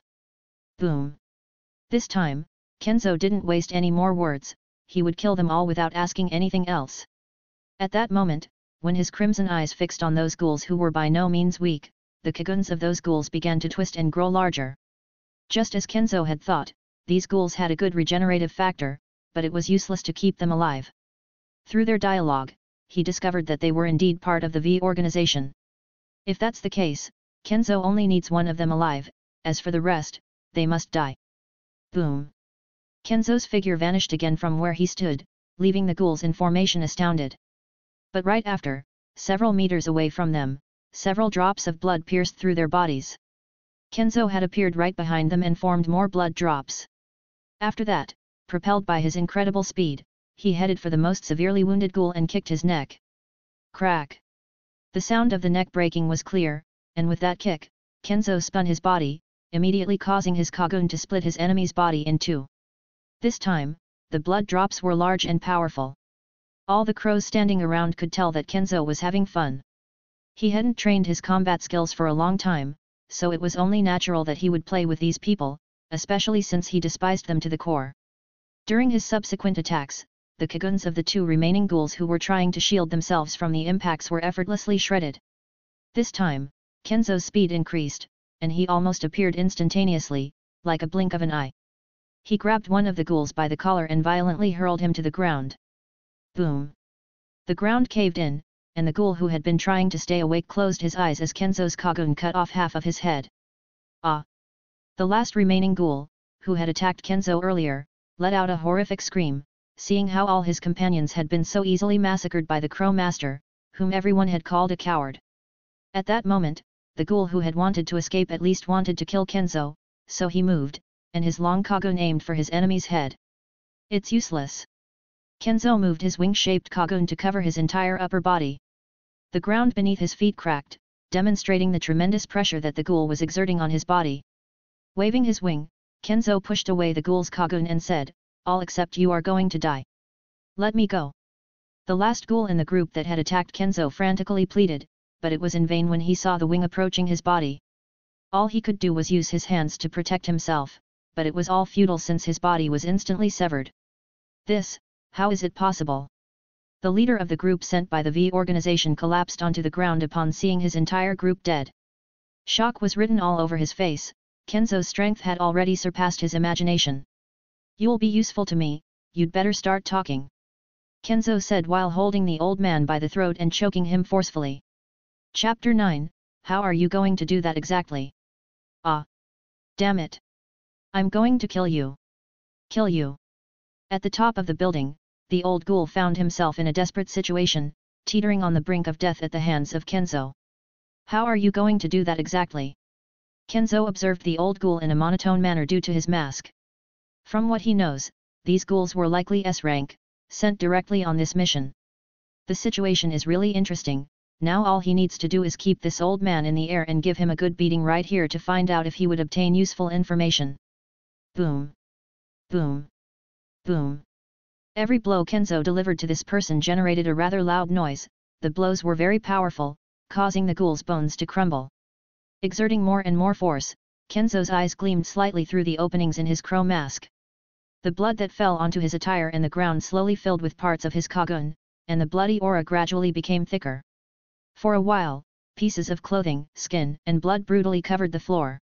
Damn it! Damn it! OM. Throwing the old man to the ground, Kenzo concealed his Kagune and said, Give me information about Organization V. What the hell are they doing in District 20, and why do they want Rize? The old ghoul lay on the ground, spitting blood, his body exhausted to the limit, and now he couldn't move freely. Tell me special information about Organization V, why the hell are you here, and I can send you to another country without your bosses finding out. Kenzo walked over and stepped on the face of the elderly ghoul. His black boots slowly crushed the ghoul's head with slight pressure, as if he were stepping on something foul rather than a human head. You don't even know what the consequences of betraying the organization will be. One of the corpses that, according to Kenzo, was dead, raised his head a few seconds before dying. If it weren't for the fear of involving his important people in his betrayal, who would be willing to work for Organization V? Consequences? Well, well. Then, do you know what the consequences of going against the crows will be? Kenzo's right hand formed a kagune in a few seconds and struck the ground with force. Boom! The already weakened ground couldn't withstand Kenzo's blow, and it collapsed to the lower floor, dust and gravel flying everywhere, causing the sole survivor to cough up blood. You damn dogs, nobody knows who they are, but you dare to go against Organization V. I hope you understand the value of the people around you because they're the first ones who will suffer. Will they come once I eliminate you? That's exactly what I want, but I'd like to know what the consequences of going against a disastrous organization like V are. When Kenzo heard this, he held his forehead and almost laughed at the dying ghoul's antics. His father was an SSS rank ghoul, and a mere organization like V couldn't provoke him so easily, and Kenzo's strength could be considered at that level. He had never reached his limit before, so he didn't know exactly. This is a pity. Kenzo knew that this man wouldn't talk so easily, so all that's left for him is to finish this. Since you're not willing to talk, you and all your companions will serve as sources of Kagune for other young ghouls within my organization. Isn't that fantastic? After Kenzo said that, he applied more force with his feet, and the old ghoul's head disappeared. Crack! A bloody scene could be seen all around, but that blood was soon consumed by Kenzo's aura, and after a few seconds, he said, let's take all the corpses, they'll be essential for other ghouls to obtain their kagunes through cannibalism. Yes, Master Crow. The five corpses were soon carried by the crows, and they all descended from the building directly into the vans that would transport them to the secret base. Eating some finely chopped human flesh, Kenzo consumed a cube with little expression, and after arriving where Rize was, he ordered his subordinates to remove the metal tubes. Viper approached and said in a calm tone, Lord Crow, we've dealt with all the enemies in the area. We found another ghoul nearby and eliminated him directly to maintain appearances. Kenzo listened to this in silence and nodded in understanding. You made the right choice, let's leave this place as soon as possible. While listening to the mission report, several white vans were soon parked near the construction site building, and Rize, who had lost mobility, was buried under a pile of steel bars. Help me! Rize's voice was very weak, but when she saw Kenzo, she finally gathered the strength to ask for help. Miss Rize, you're not dead yet, and that's a miracle, quite astonishing. Kenzo walked toward where Rize was and asked her, You've only brought me trouble after trouble. Tell me honestly, how will you be of any use to me? Master Crow, an ambulance and several police cars are approaching. Viper informed Kenzo, who was speaking comfortably with Rize. Rize Kamishiro's eyes opened, and she looked at Kenzo through the space. You are very useful but also a rebellious woman. How will I know you'll be useful if you're extremely aggressive and uncontrollable? I hate to say it, but you're useful to me. However, I'll also be honest with you and tell you that even if you're useful, if you become a problem, I'll eliminate you. So tell me, should I kill you or save you, and in return, gain your favor? Yes. Those people are coming for me. Rize showed an ironic smile at this moment. If you help me, I'll join your organization, I'll be useful to you. Kenzo smiled beneath his mask and, after moving all the bars, removed his leather glove, brought his mouth closer to Rize and said, Bite, live, and serve me as long as I see fit. None of the crows were perturbed by this, it was the joining ritual only for ghouls above S rank, so many of them had gone through this ritual and were the most loyal of the three-eyed crow organization. The moment Kenzo extended his hand, Rize's teeth tore a part of Kenzo's hand, and when she felt the blood flowing down her throat, it was the most magical sensation she had ever felt in her life. However, she didn't have time to enjoy the taste as sleep slowly overcame her, and she closed her eyes. Very well, put her with the others and keep her under observation. Leave the body of the ghoul they eliminated right here, and let's go back. Watching Rize Kamishiro's body being loaded into one of the vans, Kenzo looked at the body of the ghoul that had been thrown to the side of Kaneki and, shaking his head, got into one of the vans. Are you sure about working with that lunatic? Viper wasn't convinced, but there was also nothing wrong with trying. Kenzo removed his mask and said, well, if it doesn't work, you're allowed to kill her. Keep her well fed, but don't trust her too much. I understand, Master Crow. Chapter 10 Someday we will have to fight for real. In an unknown place. We are not monsters, we cry, we laugh, and we die just like humans.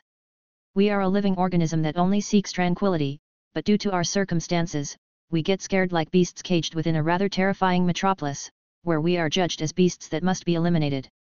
Kenzo stood up in front of over 200 ghouls who would join the organization Crow of Three Eyes, his gaze filled with serenity, and all signs of exhaustion had been discarded from his face at this moment. He was currently in one of the main bases, an old abandoned theater in the heart of District 20, where ghouls were trained and selections were made that would defend their lives from now on. The rules, principles, and shared vision were the only things they would adopt from now on. Addressing hundreds of ghouls and many others who were already veterans of the Crow of Three Eyes organization, Kenzo opened his hands and said, My dear brothers and sisters ghouls, today we are all gathered here for different reasons. Some of you seek protection, security, and strength in a world that has relegated us to the shadows. We are the crows, the guardians of the night, and we are destined to lead a change that will transcend our lives and pave a new path for the generations to come. We, the ghouls, are not monsters. We are not abominations destined to hide indefinitely in the darkness. We are beings with the same thirst for life, love, and belonging as any other human. It is time for us to reject the darkness in which we have lived for so long and seek a world where we can coexist in harmony with humans. But to achieve this vision of a peaceful future, we must be willing to sacrifice a lot. We must be willing to bleed for a better world. Make no mistake, the path we have chosen will not be easy. We will face challenges, hatred, and prejudice. But let us remember that we are strong, we are brave, and we are a united family. Each of you has a role to play in this struggle. We must be role models for future generations. We must show that ghouls can be compassionate, understanding, and peaceful beings.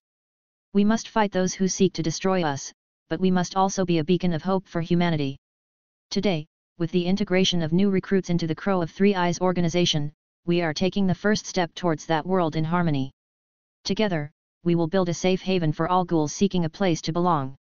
Together, we will work to change humans' perception of us. Remember, we are not alone in this fight. We have the support of our brothers and sisters present here and of all the ghouls who share our dream. Let us move forward with determination and courage, and one day, our efforts will be rewarded with a world where we do not have to hide, a world where we can live in peace and harmony alongside humans. But also remember, we will not be the puppets of humans, and we will never stoop to the level of dogs. We will establish our own worth and fight a long war to sustain it, whether alive or dead, some of us here will enjoy that united future. Let's fight together, my dear crows, for the united world we deserve. Ah! Let's go to battle. We will defend our existence. In a private room, there were nine seats where ghouls with crow masks were watching this exciting speech, but none of them had an expression of admiration, pity, or hatred. I wonder how he does it. He always manages to excite the newcomers. Even now, my cold blood vibrates with excitement when I hear my master brimming with so much energy, despite being the most indifferent among us. He's preparing us for a war. We've been in hiding for over seven years, and we can say that we've fully integrated into District 20, but still, he doesn't think it's enough. Maybe, the time has finally come, we will take the other districts under the power of the crows. A two-meter-tall man looked at the young man who said that and shook his head, Denji, if we start a war recklessly, the CCG will eat us alive, we must match their technological level first. Denji is a disheveled blonde-haired teenager with deep brown eyes and dark circles, making him look tired, but he was an SS class ghoul and was in the top 3, just below Viper, who was also an SS class. After being advised in that way, he stopped paying attention to the 2-meter-tall man nicknamed Ares. Always with that technology stuff, you'll die without seeing a flying car, you old fool. Denji was annoyed, although he was strong, everyone cared for and advised him as if he were a child. Aren't you supposed to be in school, demon child? Denji jumped from his seat and shouted, Old drunk, it's already night. Barbosa, stop tasting that wine that's still in the initial stages of mass production. Shouted a man named Kazuma, who was the weakest of the nine pillars of the organization, but he was here because his great ingenuity was making significant advances so that ghouls could enjoy something more than just meat, coffee, and water. Damn kids, how the hell are we the pillars of this organization and in complete shambles? Asked Barbosa, the old drunk. Kazuma is a 25-year-old young man who appears to be a 17 or 18-year-old teenager. He has messy black hair, black eyes, and constantly dilated pupils. To be honest, he doesn't care about living in harmony with humans or something like that, what matters to him is researching and creating new foods that ghouls can consume. But because he needed money, joining this place was the best option he could take. So, what do we do with the sadistic woman that the Master Crow brought in? She's an S or SS class ghoul, containing her would be a threat. Do you really have orders to kill her if she becomes a problem? Barbosa became more serious and asked Viper, who was the strictest leader and, in turn, Kenzo's right-hand man. Viper, who had been silent, nodded and said, we will kill her if she's a problem. She's now in a containment room and will be incinerated at high temperatures if she poses a threat to our regime. She was about to die under some metal pipes, do you think she's a problem for the High Crows? The coldness in Viper's tone was justified, they were all elites, each a captain of powerful ghouls with A and S class ranks. What would doubting a crazy woman who had been brought into the base complexes amount to? If they doubt, that doubt will be transmitted to their subordinates. It was against the rules to be inferior to their ranks, if they weren't capable enough to earn the respect of the hundreds of ghouls they commanded, could they achieve the dreams that many ghouls hoped to achieve someday? Things are much more worrisome than we thought. The CCG is a threat we must always be prepared for. Even if we're ghouls, we need to excel in combat and have plenty of weapons in addition to our Kagune. That would be essential to defeat them in battle. Kazuma stopped appearing disinterested and nodded in agreement with Viper's theory. Unifying all the districts is the first major step, agreeing to negotiate with humans is the second. If that doesn't happen, we'll seek acceptance in our own way. Kazuma understood the significance of this, so he just smiled and said, it's still very terrifying. Kenzo's plans are so destructive that it's impressive how he seems disinterested in everything around him. He is the Master Crow. It was already past four in the morning, and everyone in the cafeteria had fallen asleep. Kenzo believed that when suddenly a slender hand firmly grabbed his shirt. It was obviously Touka's hand, who seemed to have been sleeping at one of the cafeteria tables and woke up because of the noise he made when he entered. You haven't gone to sleep yet. Kenzo's gaze locked onto Touka's, for a moment, he believed that everyone should be asleep, but it turned out she was still awake. Your scent of blood can't be hidden. What have you been doing outside so late? Touka's gaze was filled with sadness. She didn't want Kenzo to be consumed by a desire for revenge. She knew a lot about his history because Kenzo had told her himself, so once she knew the truth, she couldn't leave him alone. Do you like my scent? Kenzo asked with a deep look in Touka's eyes. Touka was at a loss for words. She had never expected to receive such a serious question in the late hours, and because she had been asleep, she couldn't respond with full sobriety. Remembering the delicious scent of Kenzo, she closed her eyes and brought her nose to the man's chest. You smell delicious. Kenzo, being taller than Touka, snorted coldly and lifted her in his arms, holding her by the legs. What do you think you're doing? Touka's heart began to beat strongly. She regained some of her senses and wanted to resist, but after feeling that they were going up the stairs, she fell silent to avoid alerting anyone. Wait. Touka was lifted to the level of Kenzo's gaze, and she immediately lowered her eyes. His actions were very bold and unexpected. Look into my eyes. Are you drunk? Touka looked at him, puzzled. His face, hidden in the darkness, was flushed, and she couldn't fully see Kenzo's expression at this moment. Do you want me to leave? You can decide now.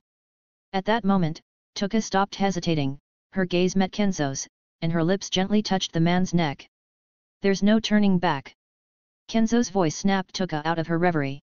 She had kissed his neck with a delicate electric sensation. Kenzo's rough and warm hands caressed Touka's tense body. She instinctively pushed him away, only to end up held even more firmly in his embrace when he wrapped an arm around her waist. As Kenzo's hands touched her skin, she felt her body beginning to exude an unfamiliar heat that made her shiver for a reason she couldn't explain. You're acting very strange today. Oh, Kenzo, Not so close. Chapter 11, Red Moon. Kenzo began to kiss Touka's beautiful neck as if he hadn't heard such a soft request. He gently let Touka's weakened body fall and began to kiss her abdomen. In just a few minutes, several pieces of clothing had disappeared from their bodies as if they had magically vanished. When Kenzo's tongue touched her skin, Touka's eyes opened in surprise. Warm lips traced her soft skin, initially giving her a ticklish sensation. At that moment, a shiver ran down her body as she felt this new sensation. But in no time, those lips reached her chest, and a delicate moan escaped her lips. Ah! Seeing Kenzo buried in her chest as if he were a newborn baby, Touka's mind went blank. Kenzo, we're going too fast. Just relax. With his large hand, Kenzo caressed Touka's back, who was paralyzed by the new sensations and emotions she was experiencing. His moist breath gave her goosebumps. Rubbing his chin against her smooth skin, Kenzo slid his hand under the garment covering Touka's waist. She jumped in restlessness, her hands and lips trembling. She had never imagined that a man's hand would venture into this region of her body. What are you doing, idiot? You've been driving me crazy for a while, Touka. Touka's legs on the bed exerted force, but not enough to push Kenzo away. She didn't want this sensation to go away right now. Touka remembered that Kenzo had never been romantic with her, even though she was in love with him, and now. Now, here he was, touching her most intimate parts as naturally as if they had been dating for years. She couldn't believe it and, at the same time, was secretly delighted. They'll hear us. No. She grabbed Kenzo's broad shoulders as if to push him away. But now it was his turn to shudder and tremble. Touka's hands unconsciously slid over his large shoulders and strong muscles, this masculine sensation was driving her crazy. Touka's lips moved slowly as her delicate moans filled the room. But immediately after, a rough kiss sealed her erotic sounds. Kenzo's saliva had traces of her blood, which made Touka's eyes turn crimson, and her tongue, which hadn't tasted blood in a long time, began to seek more of that incredible taste in Kenzo's mouth. Flooded with passion and the taste of Kenzo's blood, Touka soon found herself with no clothing left on her body. Feeling so exposed, she wanted to try to push Kenzo away again, but a deeper kiss silenced her words that she didn't want to say. Damn it! Touka let out curses and moans. She was just gasping for air like a fish out of water. A loathsome man she was deeply in love with was invading parts of her body and giving them electric sensations she didn't know existed. That hand that had reached her most special area soon began to give her a delicious sensation. She was captivated and unconsciously asked for more. In the midst of her embarrassing actions, she kicked her legs against Kenzo's body, but they were soon pressed down by the weight of the muscular man on top of her. You damn idiot, when did you become so crazy? Just today. Kenzo muttered these words as he surrendered to the captivating sounds he couldn't stop hearing. Touka had heard from her friend about pleasuring herself, but the last time she tried, she felt strange because she always thought of Kenzo. In these moments, under the touch of this idiot, she shuddered and writhed like a fish in the air, overwhelmed by these unthinkable sensations. Ah! Oh! It was useless to stop now, it would be a disservice to both of them not to continue. They couldn't stop right now when their rational thoughts had ceased to function, and their bodies took over. Touka took the initiative this time, holding Kenzo's disheveled hair while looking into his eyes. She had a captivating aura around her. When she became more aggressive, she thought to herself, what's happening to me? Touka, is this really okay? After what felt like a lifetime, Kenzo asked Touka openly, not with physical gestures. And you ask me this now? If you don't have me today, I might devour you right now. Touka didn't know where those bold words came from, but she said exactly what she felt. Touka sank into the bed, trying to catch her breath. Her body had been so tense that, with little strength left and a burning desire running through her, she didn't want to stop now. In the end, Kenzo undressed completely and wrapped his arms around Touka's waist, lifting her ever so slightly. Their warm bodies touched. It was only then that Touka realized that their bodies were drenched in sweat. She could feel Kenzo's muscles, and her hand slid over the man's back and chest, the one who had taken the initiative to please her. I always told you, you're the only one in my eyes. Kenzo's voice had become hoarse, making it even difficult to understand his words. His lips brushed against Touka's ear, sending shivers down her spine. Clinging to his massive shoulders, her legs instinctively parted. Kenzo, taken aback, did what he wanted to do most. Ah! Touka didn't feel any pain, instead, a sense of ecstasy completely invaded her body, giving her a profound aggressiveness. She was deeply in love with this feeling. She lightly bit Kenzo's chest, and the blood that had intoxicated her didn't make her realize anything. Both pressed their bodies together, sharing warmth and merging into this new sensation. At this point, Kenzo's eyes had also turned red as they felt the connection of the sensations satisfying their bodies. More. Touka's weak whisper made Kenzo burn with desire. His hands gripped her hips, and their movements became increasingly intense. The brutality of a ghoul and the ecstasy of sex soon turned them into demons in bed. Look at me, Touka. Amidst this pleasure-filled sensation, Touka's eyes met Kenzo's gaze, and she was somewhat surprised to see those red eyes in Kenzo's weary face. How did you? Touka's words were sealed with a new kiss from Kenzo, and this time she didn't hold back, taking a bite that let her taste the delicious blood of this man. Now you're my woman, I'll protect you deeply and won't let anyone harm you. These words momentarily concluded an intense struggle that had lasted for hours. Kenzo reached out, brushing the hair from Touka's forehead. This time, she kissed him, over and over again. They kissed, bit, and fought beneath the sheets. Both succumbed to their desires and let it happen.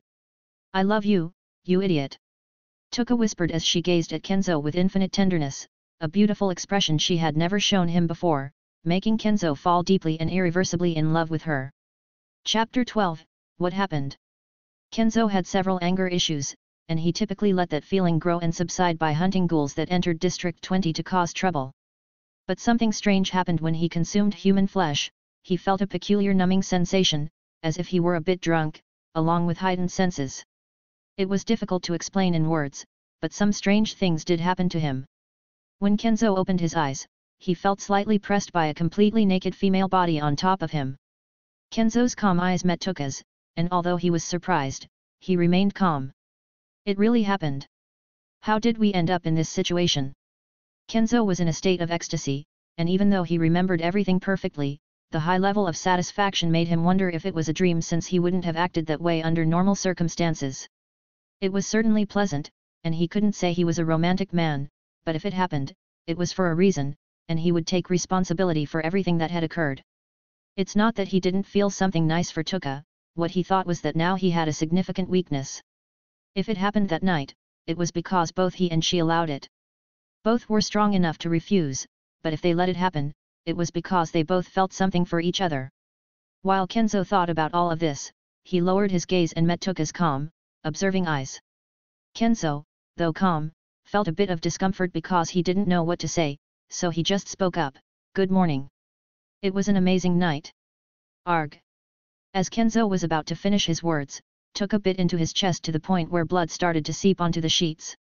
She wanted to say many things, but the first thing she did was to moderate Kenzo roughly because she felt a mix of anger and confusion. Are you an animal? Kenzo shouted as he raised his hands to grip Touka's shoulders, but after a few moments, she got out of bed, covering herself with a sheet. Are you angry? Was it that bad? Well, that's definitely not an appropriate question considering what happened last night. Kenzo's gaze turned slightly smug as he thought about it, and then a plastic cup hit his head. Boom! What's wrong? Why didn't you tell me you're a ghoul? Touka wasn't angry about what happened last night but because she found out in the midst of it that he was a ghoul when initially she thought he was human. When Kenzo understood what was bothering Touka, he smiled slightly and got up. I planned to tell you, well, I certainly never planned to tell you, but now you know, and it's much better. Are you playing innocent? Touka shouted as she threw another plastic cup at him, and because of that, Kenzo got up from the bed a little dazed. Hey, hey, isn't it better to know it late than never? You're the only one in the cafe who knows, are you angry? Kenzo asked as he walked towards Touka, who had fallen silent. He thought she had calmed down, but then he heard something surprising.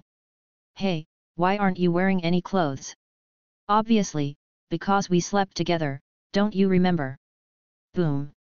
Touka clenched her fist and punched Kenzo in the stomach because of his lack of intelligence.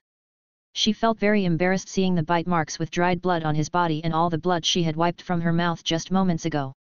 Remembering her aggressive actions made her blush a bit, but eventually, she calmed down. Kenzo wasn't nervous or embarrassed at all, so she wouldn't act foolishly. But now that she thought about it, what were they now? Seeing that Touka appeared confused, Kenzo smiled mysteriously and said, So, my dear Touka, how should I address you? Couples have nicknames they call each other, should I call you my little grump? Hmm, no, how about my sweetheart? We should keep this a secret, it would be too troublesome if someone else found out because we live together, although, of course, I don't mind. Touka furrowed her brows because she knew Kenzo was teasing her. He often behaved this way, even though in most cases, he was cold, calm, and confident.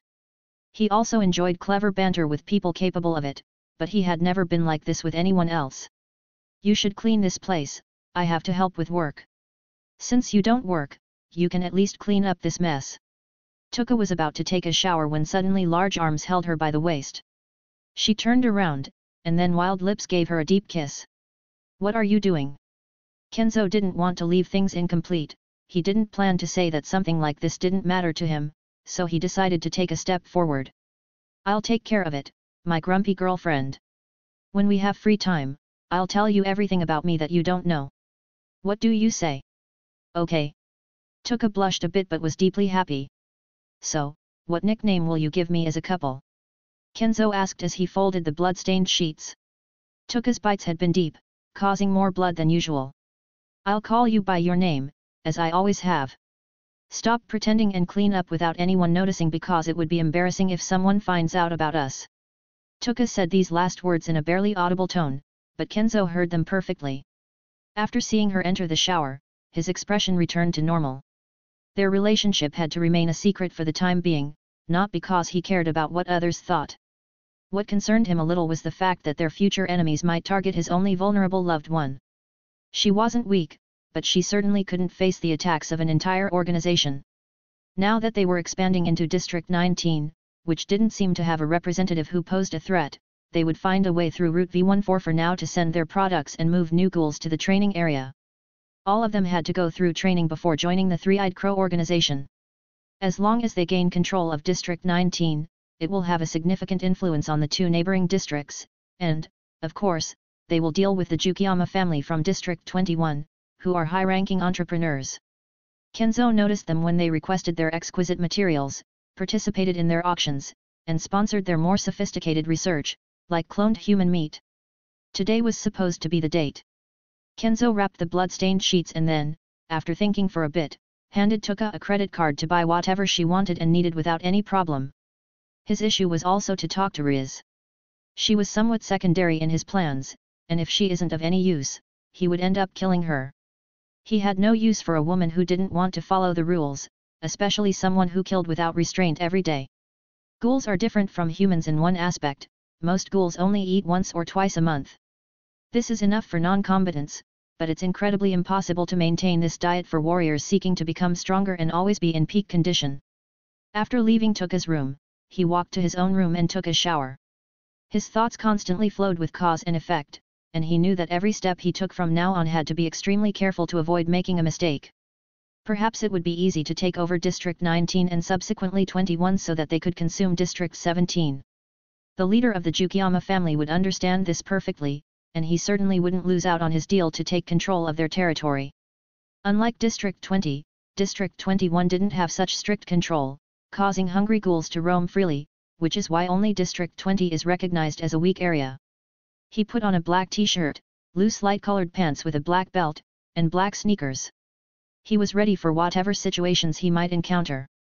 When he went downstairs, he approached the counter and took a coffee in a disposable cup before leaving without saying a word. Touka hadn't come down yet, and it was much earlier than usual. Koma Enji, with a perplexed expression, asked, Is that Kenzo? How did he get up so early? Maybe someone woke him up. Irimi Kaya glanced at Touka, who was slowly coming down the stairs as if she was afraid Kenzo would suddenly be here and call her sweetheart. Kenzo has already left. Did you fight with him again? Touka blushed a bit and mumbled, a little. Goodness, at least you beat that idiot. Boss, I should be given permission to beat that lazy son of yours who only brings unnecessary worries. Koma Enji shook his head as he prepared a cappuccino. There's no need, I can handle his education. Touka smiled faintly. Since Kenzo had spoken with Rize, she had certainly felt jealous, but now she had left her scent on him, so no one would dare go against Kenzo. Chapter 13, keeping the secret. After leaving, Kenzo decided to walk down the street without much haste. After a decade of operating in the underworld of clandestine business, Kenzo had managed to expand impressively into various nocturnal and business industries. His network of businesses had transformed into a complex web that spanned from bars and nightclubs to restaurants, security companies, cleaning services, regular stores, cafes, and many other activities. Each of these businesses served both legitimate and dark purposes in Kenzo's grand scheme of operations. Bars and nightclubs were the perfect facade for laundering large sums of money. There, cash transactions mingled with the legitimate income from customers, making the money trail nearly impossible to follow. Restaurants also served as ideal places for this purpose, and business dinners with local politicians and entrepreneurs further disguised the source of funds. Security and cleaning companies provided an additional layer of protection and cover-up. Security kept nosy outsiders and external threats at bay, while the cleaning staff helped eliminate any incriminating evidence and maintain the places looking immaculate. Regular stores and cafes were used as vehicles to launder money more gradually and less suspiciously. Legitimate earnings were mixed with illegal ones, and tax declarations were meticulously filed to avoid raising suspicions. But the boldest move of all was the focus on constructing apartment buildings. Kenzo used these real estate investments to place his trusted people, thus ensuring stable employment and absolute control over his network. Additionally, these buildings also served as additional sources of income through property rentals to third parties, further facilitating the concealment of illegal money. However, Kenzo was aware of the risks involved in his operations and always stayed one step ahead of the law. He had a team of expert lawyers and accountants who worked diligently to ensure that all transactions were difficult to trace.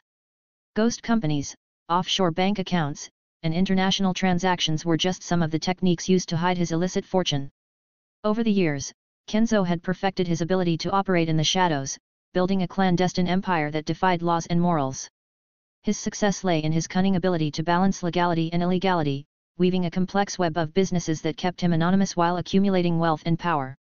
But he also knew that in this dark world, danger always loomed, and a single mistake could bring it all crashing down. Without his trusted men, the famous nine pillars he hoped would become ten in the future, he couldn't have achieved all this because he did very little personally. In addition to helping anyone in need, these individuals who were actually ghouls had education and work experience. If he placed them in the right positions, they would simply be ordinary people. His ambition was certainly enormous, but his focus was always on reintegrating ghouls into the normal world and maintaining that secure control as long as there was peace. All of his crows were calm, living in the shadows and rarely showing their beaks, but each of them would rise in the darkness if their world was threatened. This is why, in addition to the warrior ghouls, those who simply tried to live a normal life would fight to keep that dream alive, which until now seemed stable. They all respected the Crow Master, and in one way or another, they had all obtained what they desired. Food abounded in abundance, with good management, and there was always bread to be had. Of course, not normal humans like the people surrounding Kenzo at this moment, but unforgivable criminals or powerful individuals who believed themselves above others. Rapists, murderers, swindlers, and pedophiles were just some of their victims, and all of them ended up as food. The best part was that no one missed them. Five years ago, when food was scarce, his organization attacked a maximum security prison. Of course, maximum security was for humans, not ghouls. That act was the last one performed by the Three-Eyed Crow organization before disappearing into the shadows. But on the internet, everyone believed it was more than perfect that bad people became food for ghouls. This made Kenzo open his eyes and think that somehow they could all live together just as they were secretly doing. Mom, that man is super muscular. When I grow up, I'll be just as strong to protect you. A child with a bruise on his face held his mother's hand, which hid signs of abuse, catching Kenzo's attention. Walking toward the child, he asked, Don't you think it might be too late? The child looked seriously at Kenzo and said, I can't do anything. My father hits my mom when he's drunk, and when I try to stop him, he did this to me. The boy's mother panicked, immediately picked up her little son, bowed her head, and rushed away. But Kenzo's voice stopped her, please wait, hold on a minute. Kenzo, who managed to stop the lady, smiled and whispered, I shouldn't say this, but I can help you with your problem. I don't concern myself with your private life, but if you ever want to make the cancer in your family disappear, just call this number, and I promise you'll never hear from that man again. I don't need it. Feel free to take the business card anyway. Remember, we're available 24 hours a day and more effective than the police. Kenzo stopped before continuing on his way to a large library. It seemed there would be a book conference today, and he wanted to see a special person. Just as he was about to move away, a child's voice came from behind, and the same boy said, Thank you. I'm sure my mother will call you. In the end, everyone calls. Kenzo continued his journey, reminiscing about his sister. He hadn't seen her in a long time, and now that they were both 22, they probably had few memories of each other. The first time they met was at 16, then at 20, and finally two years later, Kenzo would be the one to take the initiative to visit her. The conference would be about her and some other writers, but the most famous by far was the writer Takatsuki Sen, and the chosen venue was a very informal yet cozy one. Kenzo unknowingly arrived at the location after about 20 minutes, and many renowned writers were in attendance. Among the most well-known was Takatsuki Sen. Kenzo found her immediately when he entered the exhibition hall. Like Takatsuki Sen, she was an attractive woman of medium height at 22 years old. She typically wore curious and sleepy dresses in a modest manner. Her long green hair usually looked messy and disheveled, tied up above her head with a messy bun. However, despite her usually disheveled appearance, she was a great beauty with many admirers. To Kenzo, she bore a striking resemblance to his mother, Yukina. Her personality was extremely complex, with intelligence and emotion as a human and cruelty and rage as a ghoul. Kenzo had known her as Ito Yoshimura, but he had never before been able to observe her every action, and, honestly, he hadn't cared much about her before now. What he did know was that she was strong despite her small and beautiful appearance. Because she had chosen to have a separate identity from her last name, she went by the pen name Takatsuki Sen as a novelist and often attended various events like an ordinary person. Since she was half human, just like Kenzo, they could pass through RC scanning gates that usually detected non-humans. This stroke of luck allowed them to live relatively normal lives. These gates were quite impressive because they were used to detect and identify ghouls, merely by trying to enter a secured area. Fortunately, these devices were present in buildings owned by the Ghoul Countermeasures Commission and were used to prevent ghouls from passing beyond the main entrance. These devices were considered too expensive for use in most public and government buildings, which limited their usage to the CCG. Nevertheless, they were a vital tool to prevent ghouls from infiltrating important government positions. At that moment, Ito was engaging with her readers with a smile on her face, but then her eyes noticed Kenzo, who was sitting not far away. At Ito frowned. She hadn't expected that boy to come to such an occasion.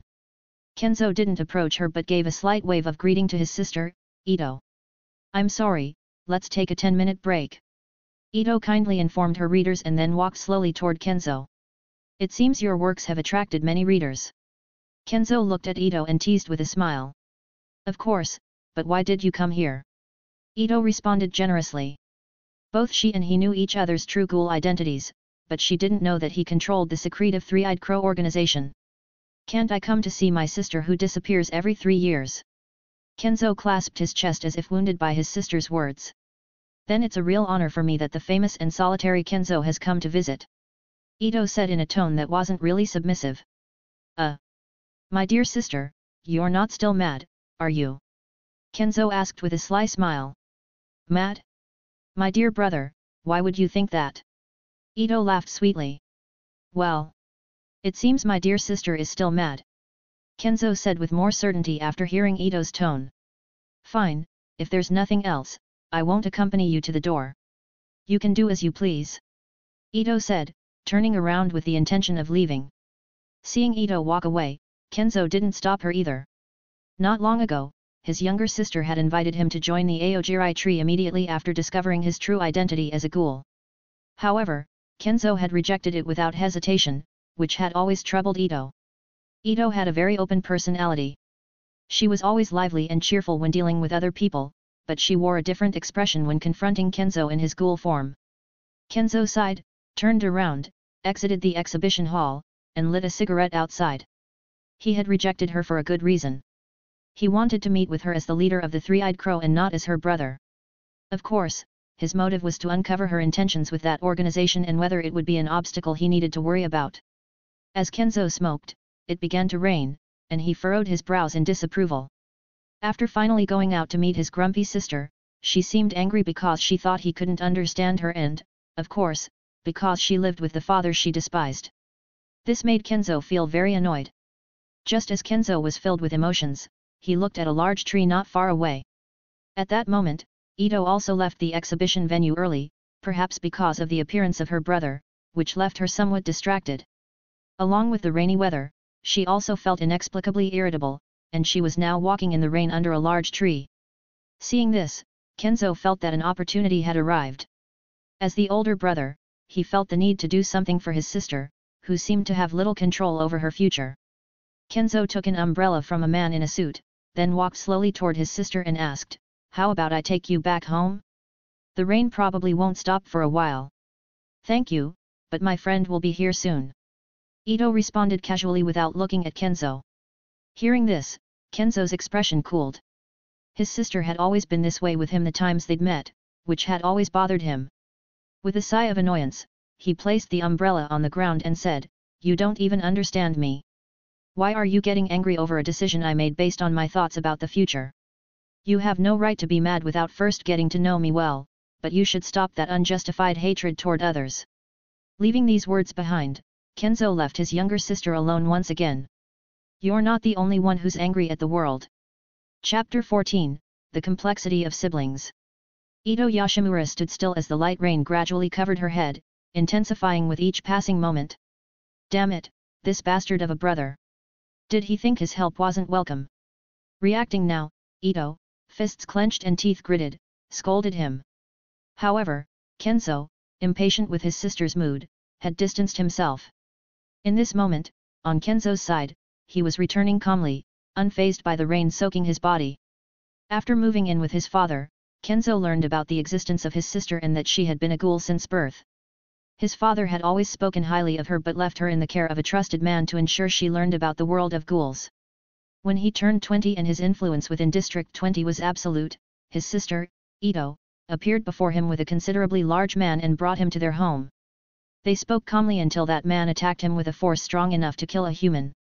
Kenzo instinctively defended himself brutally against the man when their blows were exchanged using their superhuman strength. Once Kenzo had overpowered the man, Ito ordered him to stop. She was thrilled that her long-lost brother had similar abilities to her. Ito had always found it absurd that Kenzo wasn't a ghoul when they shared the same genetics, so she tried to verify it herself. To her amazement, she was correct.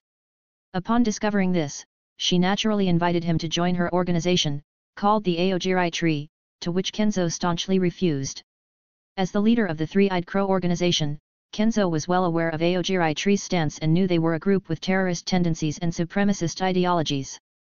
Kenzo had his own objectives but, before refusing, he wanted to obtain vital information from his sister. He directly asked, Are you the leader of the organization? When she said no, she mentioned the One-Eyed King and identified him as the leader of the Aogiri tree. He didn't need to know more, so after his refusal, he hadn't seen his sister for two years, until now. He had a lot of information on his primary rival in case he decided to extend his influence to other districts, which was the Aogiri tree. So, the one he needed to eliminate was the One-Eyed King, who until two years ago was just a symbol to Kenzo. Aogiri tree was united under the ideology of ghoul supremacy over humanity, promoted by the One-Eyed King. Aogiri aimed to have ghouls dominate as a species, making plans to overthrow humanity and ascend to dominion. Small mistake, little sister. Your war has just begun, and you've already lost. Kenzo knew, as the leader of the Three-Eyed Crow organization, that humans cannot be defeated. Ghouls, creatures of the night known for their strength and insatiable appetite for human flesh, might appear terrifying and powerful at first glance. However, there are fundamental reasons why they could never win against humans, no matter how strong they are. Firstly, humans have a remarkable ability to adapt to changing situations and overcome challenges. Human history is marked by resilience and the ability to confront threats. When humans feel threatened, they tend to unite, share knowledge and resources, and develop strategies to survive. This adaptability is one of the main advantages humans have over any threat, including ghouls. Of course, Kenzo knows that no ghoul has ever reached this conclusion because they don't understand humans and tend to underestimate them most of the time. As he has observed, most ghouls are like hungry beasts, and they consider humans as nothing more than food. For him and the values of the Three-Eyed Crow organization, although ghouls can be portrayed as powerful creatures, their lack of adaptability, intelligence, organizational ability, and their focus on violence and cannibalism put them at a disadvantage compared to humans' ability to evolve and overcome threats. Humans' ability to unite, innovate, and utilize resources and technology is a strength that would allow them to prevail in a prolonged conflict against ghouls, regardless of the latter's physical strength. Standing at a red traffic light, Kenzo glanced towards a specific location. At this moment, he had a clear sense that someone appeared to be following him. However, what's strange is that the people following him seem to be ordinary, not ghouls sent by his sister. Kenzo remains aware of his surroundings without investing all of his efforts into this task. But what Kenzo never expected was that the person following him was, in fact, an investigator from the CCG, Commission of Counter Ghoul. If he was correct, there should be no reason he was being pursued because he had been careful with every move.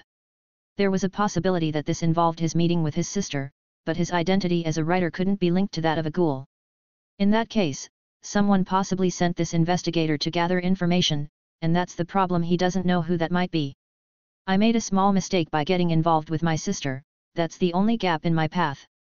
Kenzo's activities are not very frequent precisely because he doesn't want to be caught. But he supposed District 20 had always attracted the CCG's attention, along with the mysterious and unpredictable strength of the Three-Eyed Crow organization. Still, there weren't many people who knew Kenzo's true identity. CCG can be such a nuisance. As he walked calmly, Kenzo lit a cigarette and casually glanced at the person following him before hailing a taxi. On the other end of the street. We were careless. For a moment, I thought he had discovered us. A middle-aged man named Shota Watanabe clutched his chest with growing fear inside. They've discovered you, old fool. However, a voice behind him spoke. How? Shota Watanabe in a black suit turned his head back. Are you a ghoul investigator, Class 2, Suzuya Jozo? The older Shota recognized the person in front of him with a single glance. Old man, next time you go on a mission, remember to change your clothes. Your outfit easily attracts people's attention. Suzuya Jozo offered advice to the man who had been following Kenzo, although he wasn't an old man, his age should be in his forties. I understand. As soon as Shota heard those words, he accepted the advice without much fuss. All right, I'm off. Suzuya Jozo said, turning around and walking away in small leaps. Darn it, a kid gave me advice on my job. Seeing the boy of no more than 20 leave, Shoya smiled ironically. And at that moment, Suzuya Jozo entered a public restroom and took a wallet from his pocket. Uh. Besides a wad of cash, there seems to be only a photo. Who is the person in the photo? Suzuya Jozo kept scrutinizing the wallet in his hands. The wallet belonged to Kenzo. During the writer's exhibition, Suzuya Jozo intentionally bumped into Kenzo with the goal of stealing his wallet. Kenzo got so upset that he snatched the umbrella from that brat, and in that moment, his wallet was also taken from him.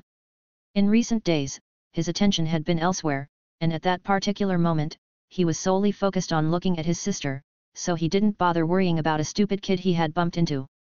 Moshi Moshi. It's Suzuya Jozo. I found information about the target reported anonymously. MMM, there's an address for a house but nothing else connecting it. Yes, there are coupons for a laundry service, restaurants, and a photo of an unknown woman. Oh, you found it so quickly? Then, come to the CCG branch in District 20, we need to further investigate the report. The voice on the other end of the phone seemed anxious. However, Suzuya Jozo had no idea of the trouble he had just caused Kenzo after stealing his wallet. Of course, no one had truly experienced the wrath of the Crow Master.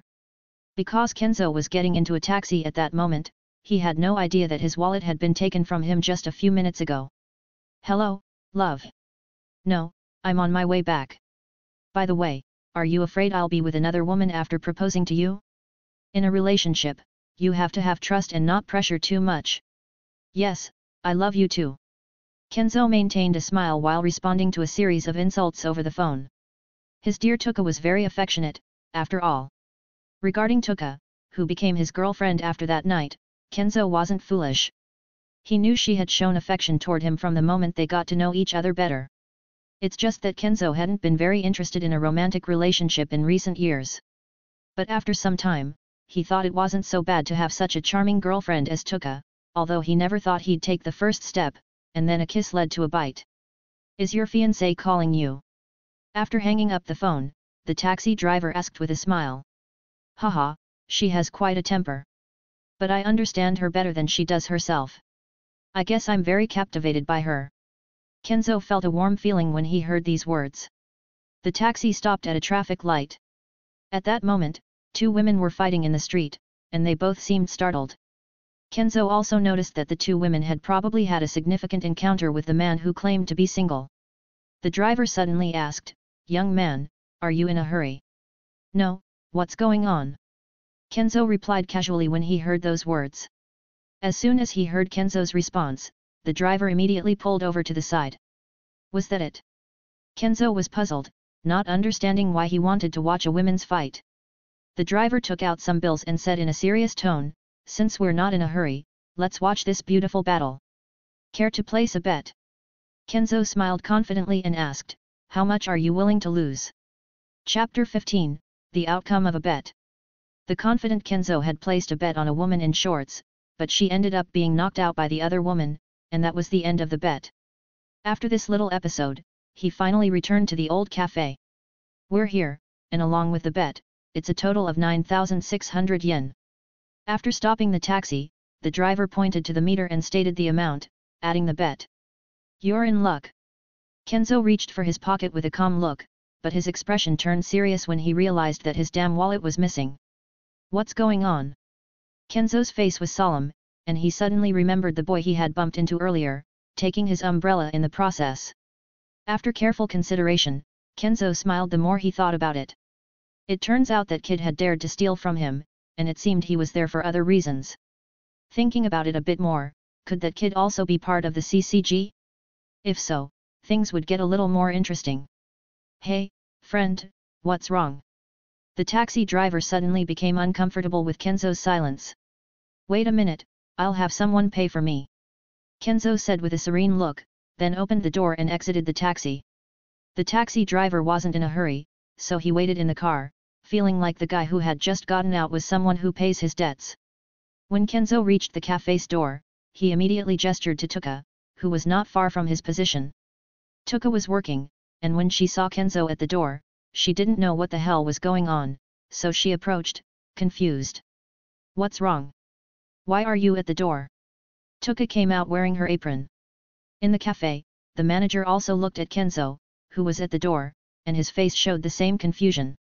My dear Touka, I just got back by taxi and didn't pay, so I need you to pay for me. Kenzo pointed to the taxi not far away and told her. What? Touka froze for a moment, had this man become this familiar this quickly? My wallet was stolen. In short, please go and pay for me first. Kenzo said, turning around and leaving again. Where are you going now? Seeing Kenzo leave again, Touka asked in an unsatisfied tone. I know who stole my wallet, so I'm going to get it back. The wallet contains some of my most precious belongings. Fortunately, you have my credit card, so they can only steal the cash. Kenzo said without looking back. You, really? Touka listened to the most loving words a girlfriend could say to her newly found boyfriend and rubbed her forehead in frustration. You guys have quite a relationship. It's a total of 9,600 yen. The taxi driver reminded the angry Touka with a slight concern in his tone. Why so much? Touka yelled, making sure her question was heard by Kenzo, who simply quickened his steps. The taxi driver watched as his betting companion had rushed away, and he paled slightly.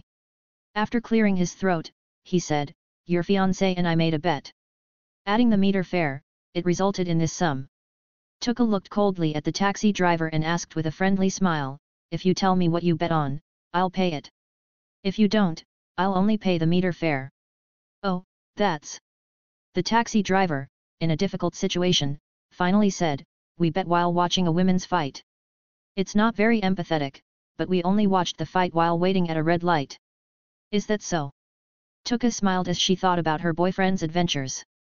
Every day, she discovered new things about him. Who would have thought he was so into gambling? At the same time, the taxi driver secretly thought that Kenzo had a dispute with his boyfriend and was trying to take a taxi to the store where his fiancée worked and then asked her to pay. Is this a new way to flirt? This operation really surprised the taxi driver. Of course, this is what the taxi driver thought. Touka had no choice but to take out a small rabbit-patterned purse and then reluctantly paid the fare in that silly bet. Back at the cafe, Koma Enji asked, what happened? Why did he leave again? He's very unlucky. He went for a walk and then had his wallet stolen. Touka said these words through clenched teeth. Oh! Everyone was stunned when they heard this news. Even the manager, Yoshimura, looked intrigued. How could his son have let himself get robbed? Who would have thought that Kenzo, who went for a walk, would end up having his wallet stolen? He's certainly very unlucky. I wouldn't wish that feeling on my worst enemy. Koma Enji shook his head while cleaning some cups. Haha, now you're worried about him. Touka couldn't help but laugh because she thought Kenzo was too mysterious to be understood by her, despite having observed him for a long time. Hey! When I was a kid, I had my money stolen. That feeling is very uncontrollable. Koma Enji refuted the teasing of everyone. It's well known that he disciplined Kenzo a lot out of his love for him. Seeing everyone laughing, Touka smiled warmly. Our dear Touka is afraid someone will steal her boyfriend?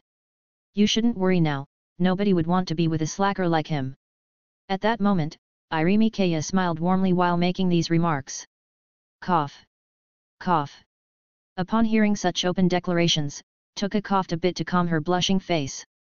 Is she in love with that slacker? Koma Enji suddenly erupted in anger. He was like a father to Touka and wouldn't allow her to be with a slacker. Ah! What nonsense are you talking about? Touka glared at them both angrily. This kind of question made her feel embarrassed and annoyed, especially now that the store manager was looking at her with a slight smile, thinking about what had happened the previous night. Irimi Kaya smiled slightly, leaned closer to Touka's ear, and said softly, Well, then you have to do your best, he might end up leaving us at this rate. Oh, really? If he does, I'll drag him back. Touka smiled coldly as she imagined the beating she would give Kenzo, and everyone was left in shock. Alright, you two ladies, it's time to work. Koma Enji intervened in this strange conversation. The conversation came to a halt, and Touka didn't let it affect her too much. She knew that Kenzo wouldn't just walk away without a reason. He wasn't a man who lied, so if he said she was the only one for him, there was nothing to worry about. At that moment, in the CCG branch of District 20. An ordinary human? Doesn't seem like it. Suzuya Jozo held Kenzo's materials and touched his chin in thought. However, judging by his behavior, there's really nothing remarkable about it. Although a report is usually important, it can end up being a joke. After all, there's nothing that screams mysterious man, said an investigator named Umeno Masami. Do you believe that too? Suzuya Jozo was interested in this. Shinohara Yukinori, who was in the meeting, thought for a moment and said, according to the investigation, it seems that the report was made hastily, so we can't conclude that he's really a ghoul. Indeed, this guy looks quite decent if he's not a ghoul. We have information on him from before. It seems he was raised by his grandfather, who passed away not long ago, and because of that, the man's studies began to decline. Something normal, I guess. If my only loved one died, I suppose I'd break down in a similar or even worse way. Shinohara Yukinori knew that the reports were mostly inaccurate, but they wouldn't overlook this source of information that pointed to Kenzo as a ghoul. Chapter 16 The Source of Information Umeno Masami came from District 14 to District 20 because many of his targets were disappearing after entering this sector. He couldn't help but feel curiosity, fear, and a sense of not being in control while patrolling the streets in this place. The sensation in District 20 for expert investigators is like a quagmire. No matter how prepared they are in this place, they inevitably never have control over what happens here. Even if they were asked directly, what is the most dangerous district of all? He would definitely answer that District 20 is due to its organization that keeps it off the radar. It's a shame that the higher UPS don't approve a large-scale investigation into the places where the ghouls in this district might be and how they feed if not by hunting their victims similarly to other sectors. We must move carefully in this sector, everyone seems ignorant, but they know perfectly well that the biggest problem is District 20. At the moment, it's just one sector that's supposedly free of ghouls, and no one seems to question how that's possible. They ignore the fact that it's one well-organized organization in the sector. If they all manage to adapt in that way, they would be in the dark, and we would be in the light. Many speculate that District 20 has fewer ghouls than the others, but are we right to think that there is an organization that controls everything in the shadows? Umeno Masami seemed the darkest to this idea, so he earned the nickname of the Ghoul Censor, ironically because he is never correct. Shinohara Yukinori seemed to understand, the emergence of an organization of ghouls that can hide and dominate a sector of human society would have serious and complex consequences. It would create a climate of fear, distrust, and violence, and could lead to a dangerous confrontation between humans and ghouls at unexpected times. The response of human society would be a fundamental issue, as it could determine the course of events and the fate of both species. They are giving us a choice, at least in this place, they are giving us a choice of what we want to do. Domeno looked at Captain Shinohara Yukinori with perplexity, what was he trying to say? Shinohara Yukinori noticed the bewildered looks of everyone around him and said, Haha, don't misunderstand me, what I mean is that we have the final say on what will happen in this place. If we bite forcefully with the intention of killing, they will strike back in the same way. I hadn't thought of it before. Domeno Masami held his forehead with a very doubtful expression. If they choose war or no war, isn't it very difficult for them to choose either option?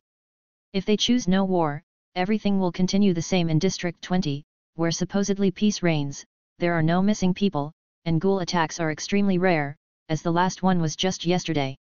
Now, if they decide to attack, all the ghouls in unknown locations may come out and attack humans, an organized strike hurts more than a brute one. That's what's at stake in this place. I'm back. At this moment, Suzuya Jozo approached in small hops, holding a coffee behind his hands. Oh, sorry for not greeting you earlier. You are Shinohara Yukinori's partner, right? Suzuya Jozo, if I'm not mistaken. Domeno Masami greeted with a friendly smile. Shinohara Yukinori also looked at Suzuya Jozo, the investigator who had been transferred from District 13. He didn't know much about him until now. But everyone knew Shinohara Yukinori, especially Domeno, who had transferred from District 14 to 20 by his own choice. He knew who the captain of this division was, and he didn't expect a kid to be his partner from now on. It's well known that Shinohara Yukinori, although he's ranked 1 and is still considered a ghoul investigator, is, in fact, already a special class investigator and is about to become the CCG commander in District 20. I heard you got a good lead on the suspicious target in District 20, right? Shinohara Yukinori asked at this moment. The target they were talking about was naturally Kenzo, who had been reported by an anonymous source announcing that he was a powerful ghoul.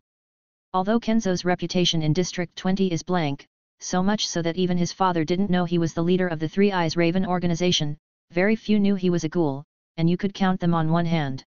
Not only do his enemies die shortly after coming into contact with him, but also most of the high-ranking members of his organization only know about his Kagune.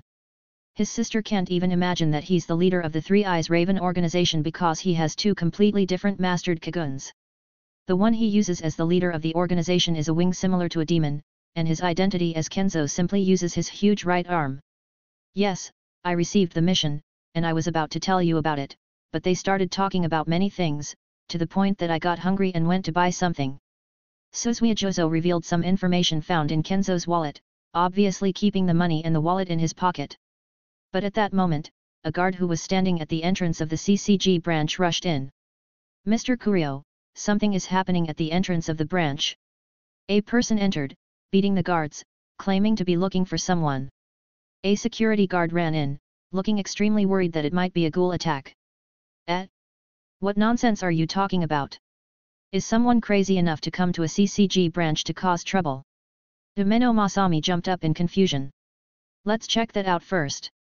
Shinohara Yukinori didn't have time to see the documents Kenzo had in his wallet, to be honest, there was nothing compromising in it, but if they decided to start an investigation there, it would certainly cause problems. He wanted to go see what was happening first. At that moment, outside the CCG's door, a group of people lay on the ground as Kenzo walked through the main entrance. There were even several Class 2 ghoul investigators on the ground. When they stood in front of Kenzo, no one could stop him for more than five seconds before being knocked down. Among them was Koutarou Amon, who was a rookie investigator, but he was crushed by a combination of Kenzo's blows. This terrible scene shocked everyone present. Call the person in charge here. I have limited patience. If they arrive late, I might just smash all the guards in this place. Kenzo scratched his ear while kicking an investigator who was attempting to bite him. Hey, are you a dog or what? This idiot. At that moment, one by one, they all retreated while clenching their teeth. Boom! At this moment, a strange sound rang out, and a gas similar to vapor emerged from one of Kenzo's feet. It was a kind of pepper spray gas. Kenzo might be very random to many, but this would deter any suspicions about him. Humans are naturally curious, the more someone acts normal, the more others will be drawn to the place where there is nothing. But Kenzo knew that no sensible ghoul would come to the CCG branch looking for trouble, especially a ghoul who could be caught by dozens of investigators in this place. However, Kenzo trusted his instincts, and the actions he was taking were justified, otherwise, he wouldn't be foolish enough to rush into a situation he didn't control. Boom! Kenzo kicked the grenade that was mercilessly thrown at him, hitting an investigator ghoul on the forehead, and many of the investigators were suddenly affected. This bastard! Is he insane? Damn it! An investigator gritted his teeth because his partner had been knocked out by Kenzo. How could there be a person like this? It should be known that ghoul investigators are rigorously trained in combat techniques, situational analysis, and perception. Not all of them are capable of taking on a ghoul with superhuman strength and winning, but they should be stronger than most average civilians. Despite that, an ordinary man had entered a CCG branch very easily. How could they defend themselves if dozens of ghouls arrived to attack them? Listen, my body has been trained until it bleeds, and none of you can match my perfection. You won't be rivals for me, so call the person in charge. Kenzo, with a tired look, continued walking, ignoring the investigators. Wow! At that moment, Umeno Masami emerged with many investigators behind him, clapping his hands, my god, you are truly skilled. If I guess correctly, you couldn't possibly be an excellent ghoul investigator. Um. Kenzo looked at the ghoul investigator who seemed somewhat different from the others. Umeno Masami is tall, strong, and has a solemn attitude. It can be seen that he is an excellent investigator with a respectful and polite demeanor, but behind that facade is someone very powerful. You know who I am, don't you? Kenzo looked at the other side and said with no expression. Of course, so many things have been happening in District 20 recently. We received a report pointing to you as a suspect, but it was unexpected that you would come to us, said Umeno Masami with a cold smile. I suspected it. Kenzo thought as he continued his act. Oh, I lost my wallet, and it's in this place. I wanted to come and ask politely, but your guards wanted to kick me out of here. Do you know how much tax I pay for you to have these fancy facilities? Kenzo pointed to all the ghoul investigators in front of him and declared, if I announce this on social media, do you think you'll be in control of the situation? Uh. You lost your wallet? Shouldn't you call the police? Umeno Masami was obviously puzzled. Do you want me to call the police? I probably will, just wait a moment. Kenzo took out his cell phone and dialed the police directly, hello, yes, at the CCG branch, an investigator stole my wallet and refuses to return it. Of course, I will call my lawyers and file a lawsuit. When everyone heard these words, they were a bit confused and didn't know what Kenzo meant at this moment. Did one of the employees steal a wallet from this expert martial artist? Chapter 17 Making a Scene. Is he calling the police? He's completely insane, did a ghoul investigator really steal a civilian's wallet? Wait, isn't he a ghoul? No, they say he came through the main entrance, so he definitely went through the scanner, he's not a ghoul. The situation suddenly became extremely concerning for everyone. If this situation goes public, they would become widely known for resolving it. It should be known that most of the taxes are going directly to the CCG departments, and although public opinion is necessary, it's highly controversial. What if the people they save start believing they would become a progressively increasing threat? In this situation, if what Kenzo is saying is true, then it would be the right thing to call the police. However, if he's not telling the truth, then he must have some serious mental issues. But then, Umeno Masami smiled, took a small step forward, and pulled out a wallet. They needed to control the situation as quickly as possible, the last thing they wanted was to tarnish their reputation with such a ridiculous scandal. Uh. Is this it? After seeing it, Umeno Masami almost guessed what this whole scandal was about. Yes, well, if you want it back, then come and take it from my hand. Can't you do that? Suzuya Jozo took the wallet from Umeno and provocatively glanced at Kenzo. Hey, who told you to do these foolish things? You're an investigator, how can you do such a thing? After understanding the truth of the matter, Suzuya Jozo couldn't help but scold him. They knew that Suzuya Jozo had obtained much more sophisticated information from Kenzo, but they didn't expect this foolish kid to actually steal the other party's wallet. Hat. Interesting. Kenzo, out of the corner of his eye, saw some police officers rushing toward the entrance of the CCG and did nothing. He simply took out his phone, showed the audio recording, and said, My lawyers will take care of this situation. I can't believe you are all doing this to me. Don't you know that, in addition to paying taxes, I make incredibly large donations to the families of deceased investigators? I have a charity where I raise donations, help affected families, and give more than I receive from all of you. Kenzo's words began to affect the people around him, no one knew who Kenzo was, but if his words were true, they would be highly controversial if they spread. What was supposed to be happening in this place? This branch is going to be in the news. I don't understand the point of being in the 20th district if there are so few ghouls. You should be supporting other more affected districts instead of wasting time here. You're a bunch of useless men who are now wasting time stealing wallets. Kenzo looked at everyone with anger, as if he had truly lost his mind. One of the nearby ghoul investigators got up from the ground and shouted, You damn fool, you have no idea what you're saying. Boom. Letting himself be hit, Kenzo fell to the ground with fake tears streaming down his cheek.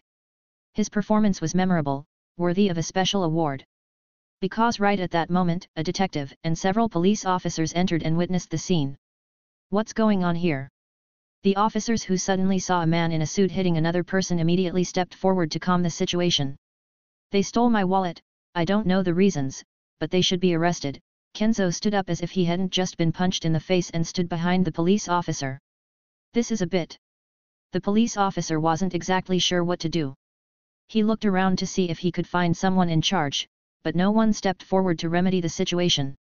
Don't be afraid, officer. I have information that incriminates them, so my lawyers will handle the lawsuit. What they just did is theft, unfounded accusations, physical violence that endangers my life, and psychological harm, Kenzo said while pointing at all the ghoul investigators. This scoundrel. Hey, have you seen this, officer? They're the damn aggressors, you must arrest them all. Kenzo smiled slightly under the cover of the police officer, after seeing the disgusted expressions of everyone. What are you talking about? You came in hitting the security guard, assaulted many ghoul investigators, and it seems like you had no intention of stopping until the police arrived. Shinohara Yukinori then arrived from the back and saw all the commotion that was unfolding. What's the situation?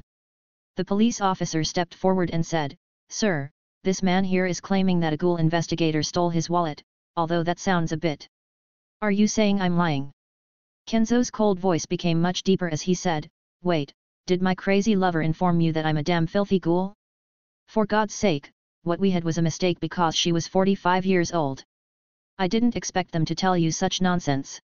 Shinohara Yukinori smiled kindly and said, Unfortunately, one of my employees made that drastic move, we're very sorry but if I may be so bold, I would like to request that you don't take legal action against us. Civilians may not know this, but we must resort to unconventional methods to continue finding ghouls. Then give me back my wallet, and I'd also like to clarify the misunderstanding regarding the suspicions raised against me. Although it doesn't bother me, it would be much less work for you if I cooperate with whatever is needed to avoid unnecessary suspicions after all, I'm a human, I believe, ha ha ha. Kenzo's joke made everyone turn to look at him. Such a joke in this kind of situation is extremely delicate, considering he's a suspected ghoul. Shinohara Yukinori smiled and said, We appreciate your cooperation. Once again, I apologize for the unpleasant actions one of our employees resorted to in a mission where they were only supposed to gather information, not engage in physical confrontation. Umeno Masami walked forward and, after placing all the items back in Kenzo's wallet, he pointed to an RC scanning door that was a few dozen meters from their position. Everyone, upon realizing that an unbreakable test was about to take place, grew more nervous because if he turned out to be a ghoul, an inevitable battle would erupt inside the CCG branch. When Kenzo received his wallet, he opened it, and everything was indeed inside it. Taking a picture, he showed it to Shinohara Yukinori and said, My mother, isn't she beautiful? Truly a beauty. How is she doing now? Shinohara Yukinori asked as he walked closer to Kenzo with no concern. She's dead, she was killed by ghouls when I was just a baby. She was very brave, a journalist who was investigating a group of ghouls after giving birth to me. Unfortunately, in the letter she left me, she mentioned that she had been discovered, so she was killed shortly after. Kenzo didn't lie in this story, he didn't want to win talking about his mother. He needed a letter to further persuade the ghoul investigators, and his mother, from whom he had never needed anything, helped him in this situation. With this, he was sure he had convinced them all. If he now passed through the scanning door and came out clean, that meant he would be free from suspicion for some time. If he were suddenly discovered, the cafe and everyone working there would be eliminated by the CCG without hesitation. A surprise attack is not what they expect, so as long as he gets rid of the humans, he can figure out who reported him to the CCG. I'm very sorry, but surely your mother died protecting not only you but many others who are constantly in danger of ghoul attacks. Please, go through the scanner, Shinohara Yukinori said with a somewhat pale expression. Yes. Kenzo, even though he was acting, didn't do it completely. Although he was a ghoul, he understood humans perfectly but also knew that if he were suddenly discovered as a ghoul, they wouldn't hesitate to lock him up. To deal with humans, you must treat them with the same tools, weapons, and methods to persuade them. What he was doing right now was playing with their minds, empathy, and feelings. How many comrades have they seen die on the battlefield while dealing with ghouls?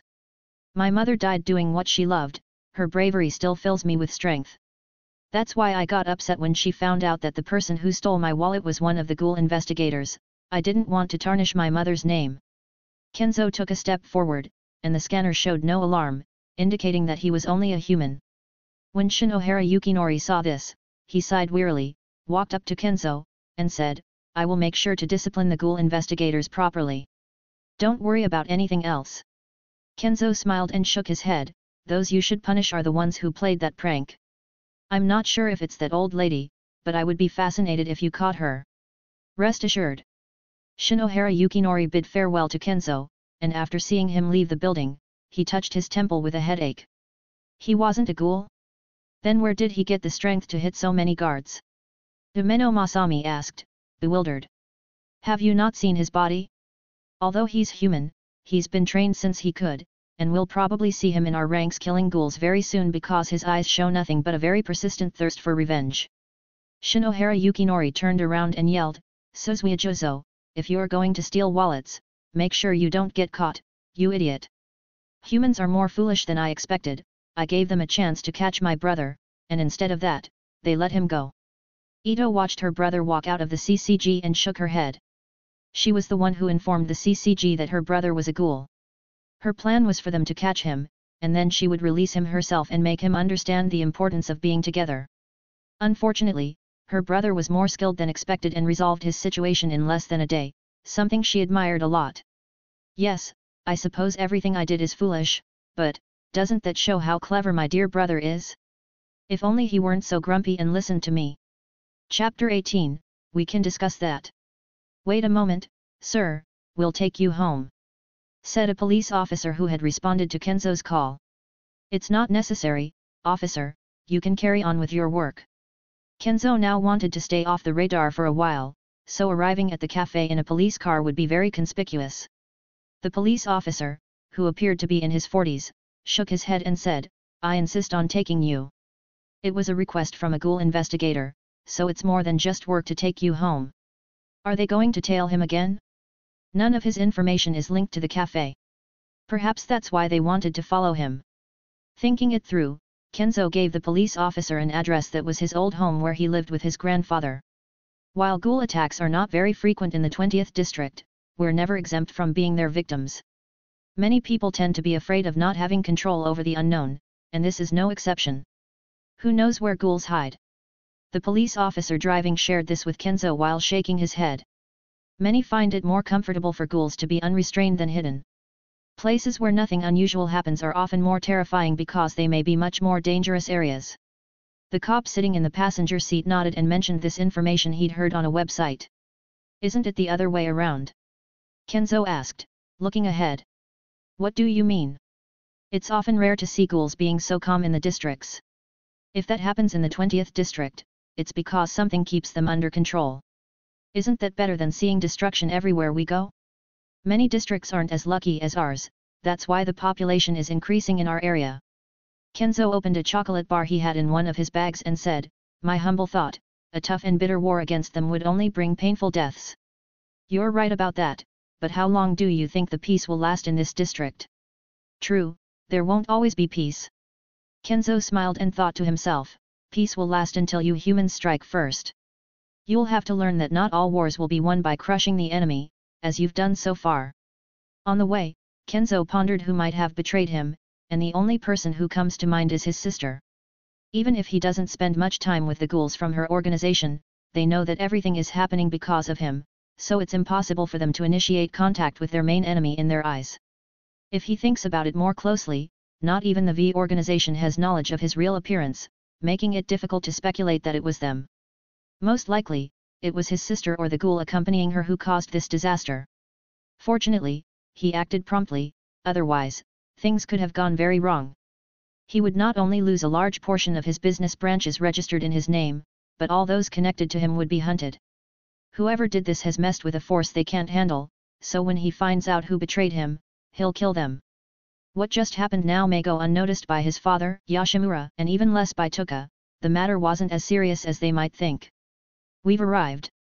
Said the police officer after seeing Kenzo's old house, he smiled and said, have a pleasant evening. We're sorry for what happened, so we hope you can resolve all your issues and avoid going out at night for your safety. Kenzo smiled and nodded, then said, You too, officers, stay strong and avoid getting hurt. The old Japanese house where Kenzo has memories with his late adoptive father is a wonderful example of traditional Japanese architecture from the modern era. The house is located in a peaceful setting and surrounded by a meticulously maintained Japanese garden. The house's facade is simple and elegant, constructed from dark wood that has acquired an aging patina over time. The gabled roof, typical of architecture in old houses, is covered with ceramic tiles of rusty red color. The exterior of the house features subtle decorative details, such as sliding shoji paper doors that allow natural light to enter. Upon crossing the threshold of the house, Kenzo saw a genkan, a small entryway where visitors are expected to remove their shoes before entering the interior areas. The interior walls are lined with washi paper, which filters light softly and creates a warm and serene atmosphere inside. I'm back, sir. Kenzo smelled the soft, characteristic scent of tatami mats that permeated the air. In the center of one of the rooms, there's a tokonoma, a decorative alcove in the wall, where there was a photo of him and his adoptive father. The sound of water flowing in a small zen garden near an open window provides a relaxing soundtrack to the environment. So lonely, I understand why he took me back. Kenzo thought of his real father. The memories Kenzo holds in this house are filled with nostalgia and affection for his adoptive father. Every corner of the house evokes special moments shared between them, and the garden offers a space for contemplation and peace that reflects the deep connection they had. But now that he sees it, it's clearly a lonely place that he can't share with anyone. However, when Kenzo thought about it, he remembered Touka. Maybe in the future. A few hours later, Kenzo left his house where normally a lady took care of the garden and the fish that inhabited the small artificial pond around the high walls that kept the outside from view. After changing his clothes, Kenzo decided to return to the cafe, but due to various things, he was running late. Kenzo, is everything okay? Touka suddenly asked him as she watched him enter. Yes, I'm sorry for worrying you. I'm here to help with the night shift, Kenzo, with his characteristic tired look, smiled at Touka, who was just inches away from him. When Touka felt a hand touch her hip, she quickly moved away and said, That's perfect.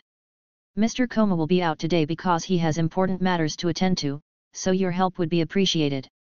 Manager Yoshimura looked at these two young people with a smile, and his thoughts drifted back to a time when he deeply fell in love with his late wife, even when he acted colder than Kenzo. Love, it's incredible how love always changes people, manager Yoshimura muttered as he prepared several cups of coffee. Hey, I want a cup of coffee. Kenzo, who was supposed to help with work, served himself a cup of coffee as the first thing. He had to admit it, his father had an enviable technique in the art of coffee. Hey, didn't you say you'd work? This is a quality control test, my dear Touka. All business owners do it. Kenzo affectionately patted the head of the grumpy Touka, who was searching for any detail to argue with him, but he took it simply as a tantrum for not explaining things to her. Touka gave Kenzo's hand a little pat and said in an annoyed tone, have you lost 10,000 yen in a bet watching two women fighting? Cough cough. Kenzo almost choked on his coffee and, after looking around, shook his head. It was the ladies' cats, not the ladies themselves. You're a terrible liar. Touka went into the storeroom to fetch some needed boxes, and because there weren't many people around, Kenzo followed her. Well, I can tell you that the lady I bet on was extremely tall and weighed three times more than her opponent.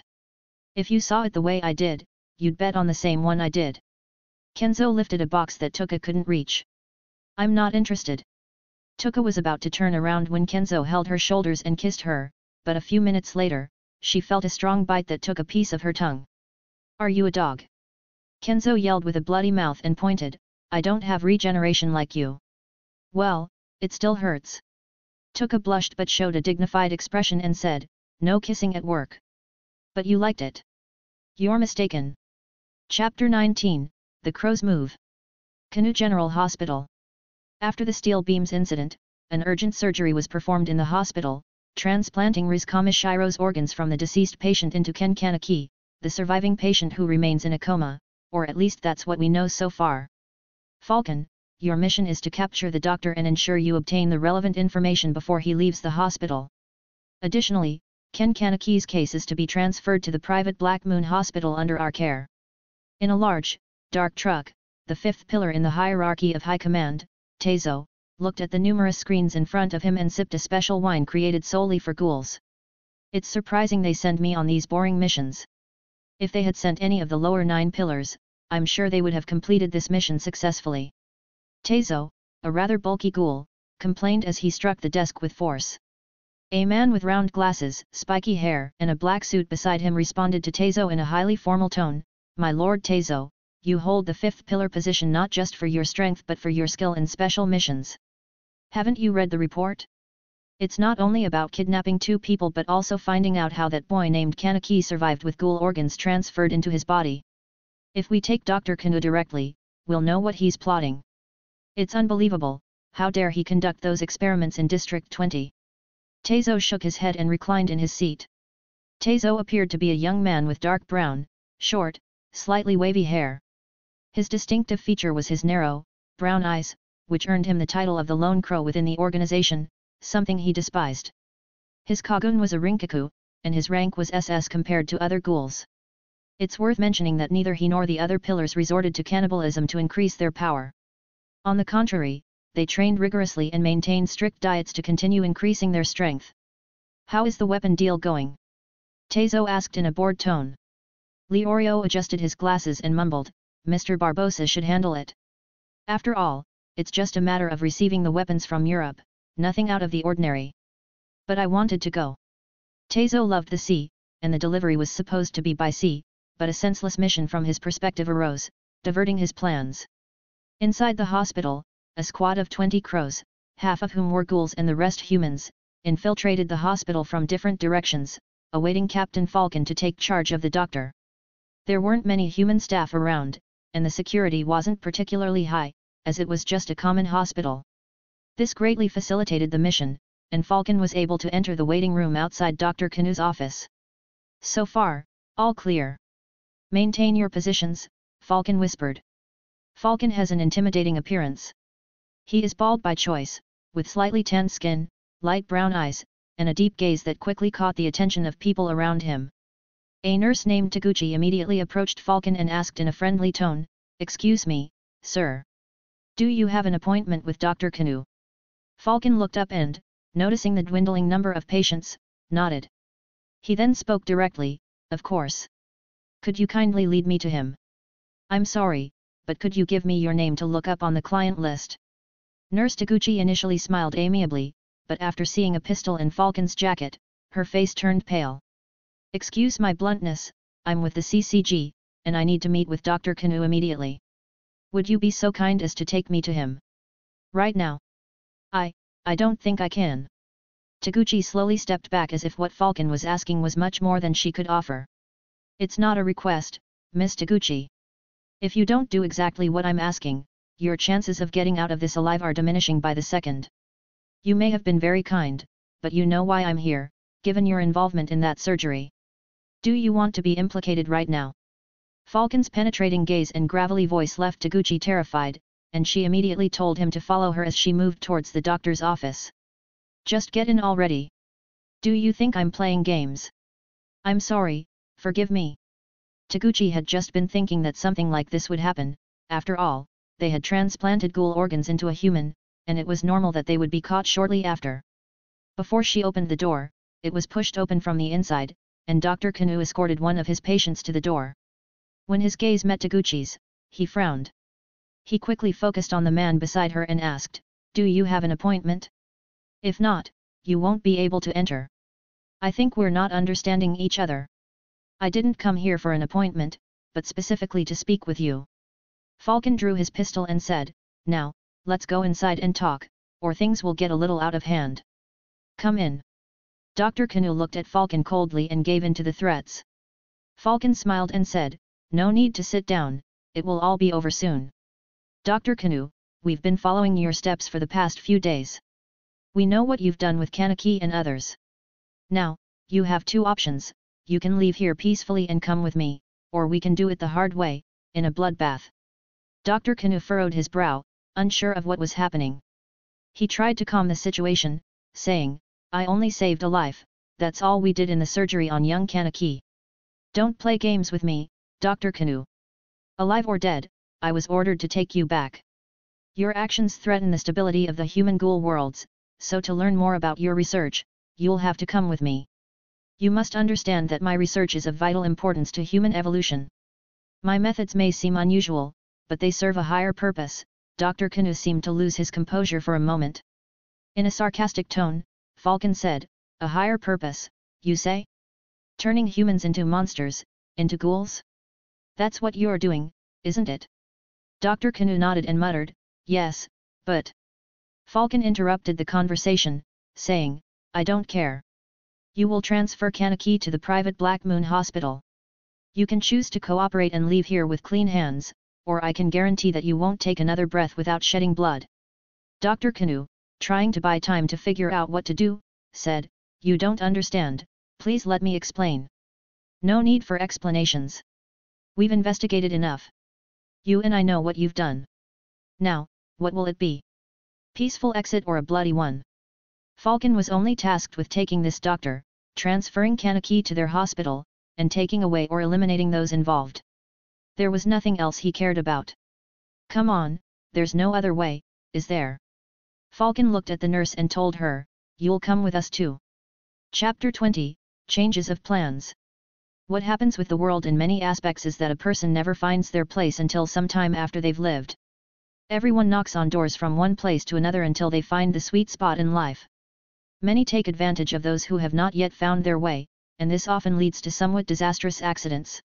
In the early days, Kenzo approached the right people and quickly formed a group that started with simple assassination jobs.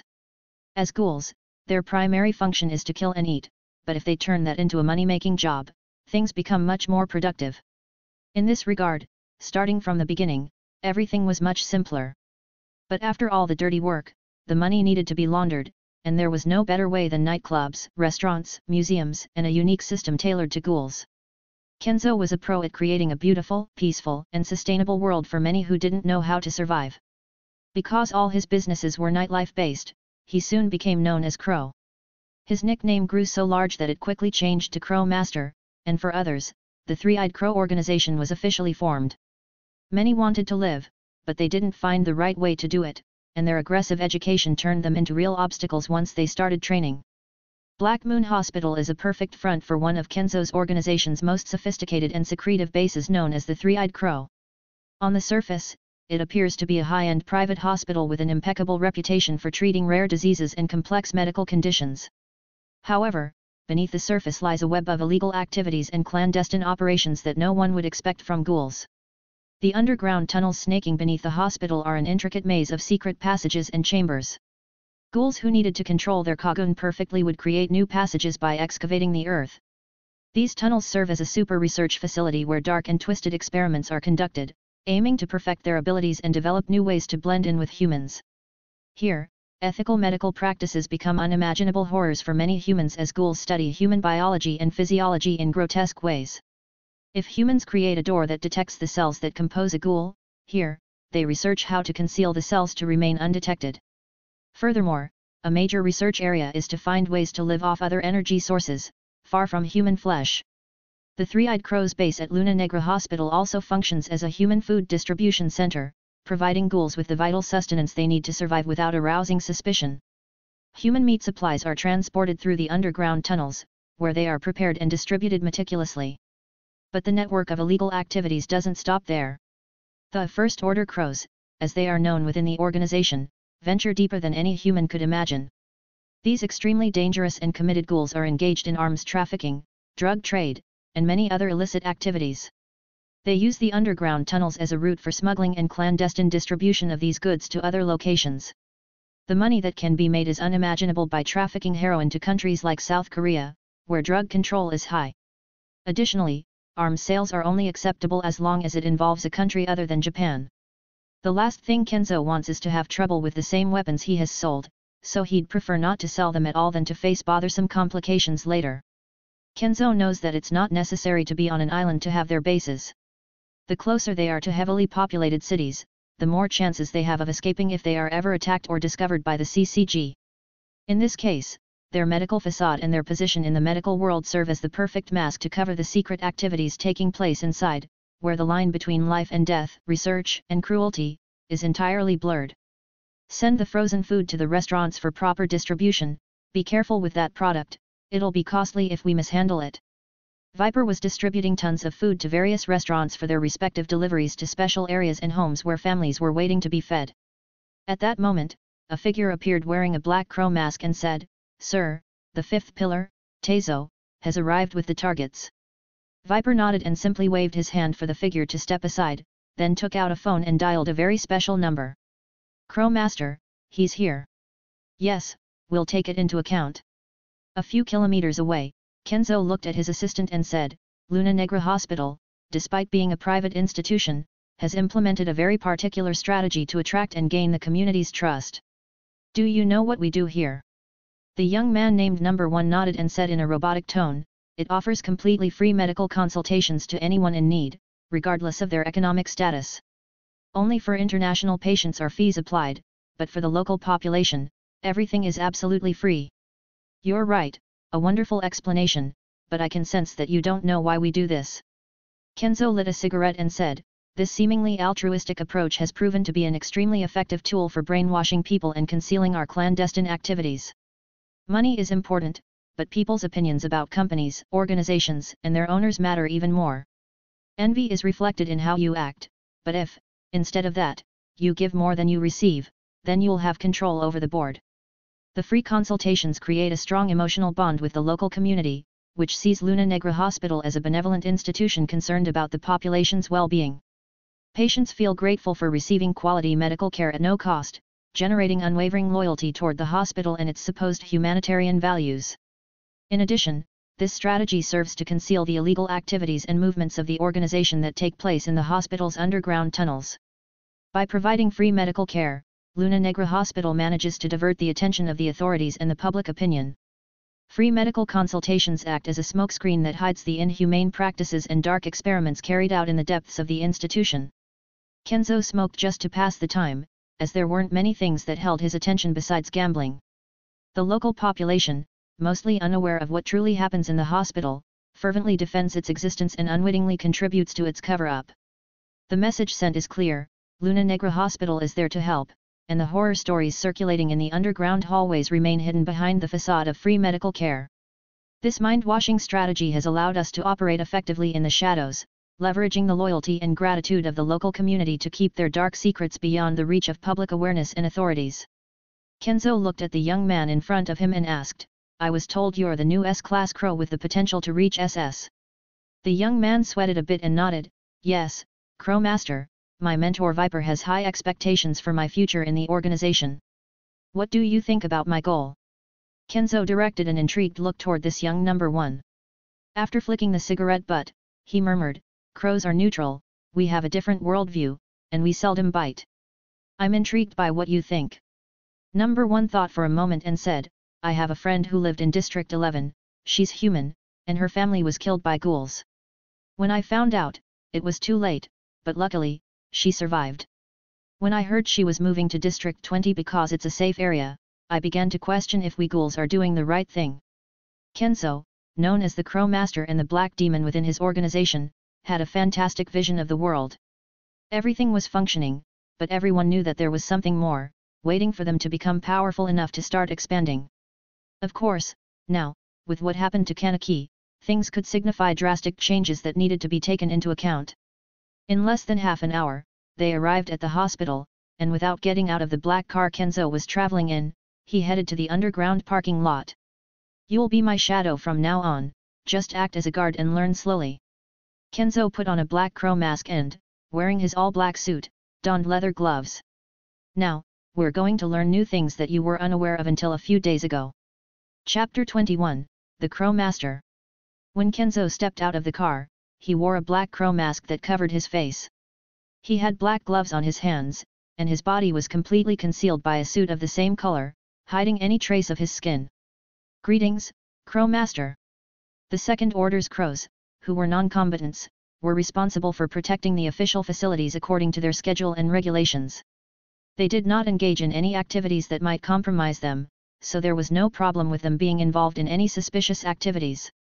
The hospital facilities were divided into three parts, public, private, and secret. Kenzo was currently heading to the secret areas in the company of number one, who was following closely behind him. Kenzo looked at the exquisite decorations in the hospital, which was undeniably a beautiful place. As he walked down a long hallway, he glanced at an elevator and asked number one, how is that boy named Kaneki doing? Number one pondered for a moment and replied, he's still in a coma, but he's alive. It's quite surprising that he could survive after receiving organs from a ghoul as a mere human. Kenzo had thought of this as both an advantage and a problem that he needed to pay close attention to. Firstly, if they started creating ghouls from humans, they would have the potential to create strong soldiers capable of matching ghouls, and that would be a significant disadvantage for their future plans. People like Kenzo mapped out their path from start to finish. There was no middle ground, they had to get from one point to another and resolve all the threats that stood in their way. Was there any collateral damage? Kenzo asked as they waited for the elevator to descend to the lower floors. Number 1 replied to Kenzo, there were no issues during the mission. No victims or witnesses, everything went smoothly, and there's no trace connecting the disappearances to us. That's perfect. The last thing I want is the police knocking on the hospital's door. I already have enough problems to deal with, and new issues keep popping up. After a few minutes, the elevator stopped, and a massive corridor opened before them with descending stairs further ahead. The facilities have expanded even more since the last time you were here, Crow Master. We've created more training grounds, and production areas have increased after establishing a production facility for wine, sweets, and jelly. From number one's words, he seemed genuinely excited to be able to enjoy these foods he had heard so much about from his friend, even though they always tasted like dirt when he tried them. His behavior was typical, all ghouls were very excited about their new products because they had a unique flavor that they could savor with their taste buds. Research was crucial for them to find more meaning in life, after all, food should be enjoyed in the same way and never be envious of humans, as ghouls could achieve the same. This place always amazes me. Isn't it too vast and intimidating? Any human would wet their pants if they set foot in this place, although that's certainly impossible. Kenzo maintained a calm tone as number one, this time, led the way to the interrogation room. The security and presence of ghouls increased as they moved further into the facilities. In other words, there were hundreds of ghouls within a hundred meters in every direction, monitoring at all times. As one of the three major facilities, in addition to the other two locations, this place held many of the things that the Three-Eyed Crow organization valued. Walking through an incredibly vast area, they soon arrived at a cellar where Viper was inside, speaking with Dr. Kanu, who seemed unwilling to say a single word. Upon entering, Kenzo looked at the somewhat gruesome scene and asked, what is happening here? When everyone heard Kenzo's question, they looked at him for a few seconds before bowing, and Viper, who was in the lead, said, Master Crow, this is the doctor who created a ghoul through an organ transplant. Please, have a seat. I want you to be comfortable. Kenzo looked over at Dr. Kanu after walking towards a metal table with various specialized instruments. Please, there's no need to torture me. Dr. Kanu cried out while trembling, seeing Kenzo holding a long, thick needle. Kenzo smiled beneath his mask and said, Dr. Kanu, I actually had other plans for this evening with my partner, but the priority you've given me made me decide not to meet with her. Do you understand what you're doing? Let me explain the gravity of the situation. Right now, the CCG is gaining strength due to those fantastic weapons they create with Kagunes from killed ghouls. Now, what will happen if they have the ability to become ghouls and decide to create their private army? Viper, what would happen? Viper blinked a couple of times and said, well, the war we thought would be less disastrous would reach very dangerous levels for the stability of society. If suddenly there are ghouls fighting for humans, we will face the difficulty of being much more forceful in this war we want to win with minimal effort and damage. Yes, well, that is an advantage of our own efforts to create a much better world with fewer monsters we know of. They've caused us a lot of trouble, shouldn't they be trembling with fear right now? Dr. Kanu asked, seemingly having gone mad. Kenzo walked over to Dr. Kanu and sat in front of him, sighing lightly at how tiresome this was. First of all, you need to know that I don't care at all about your inventions. I just need to know where they are made to blow that place to pieces.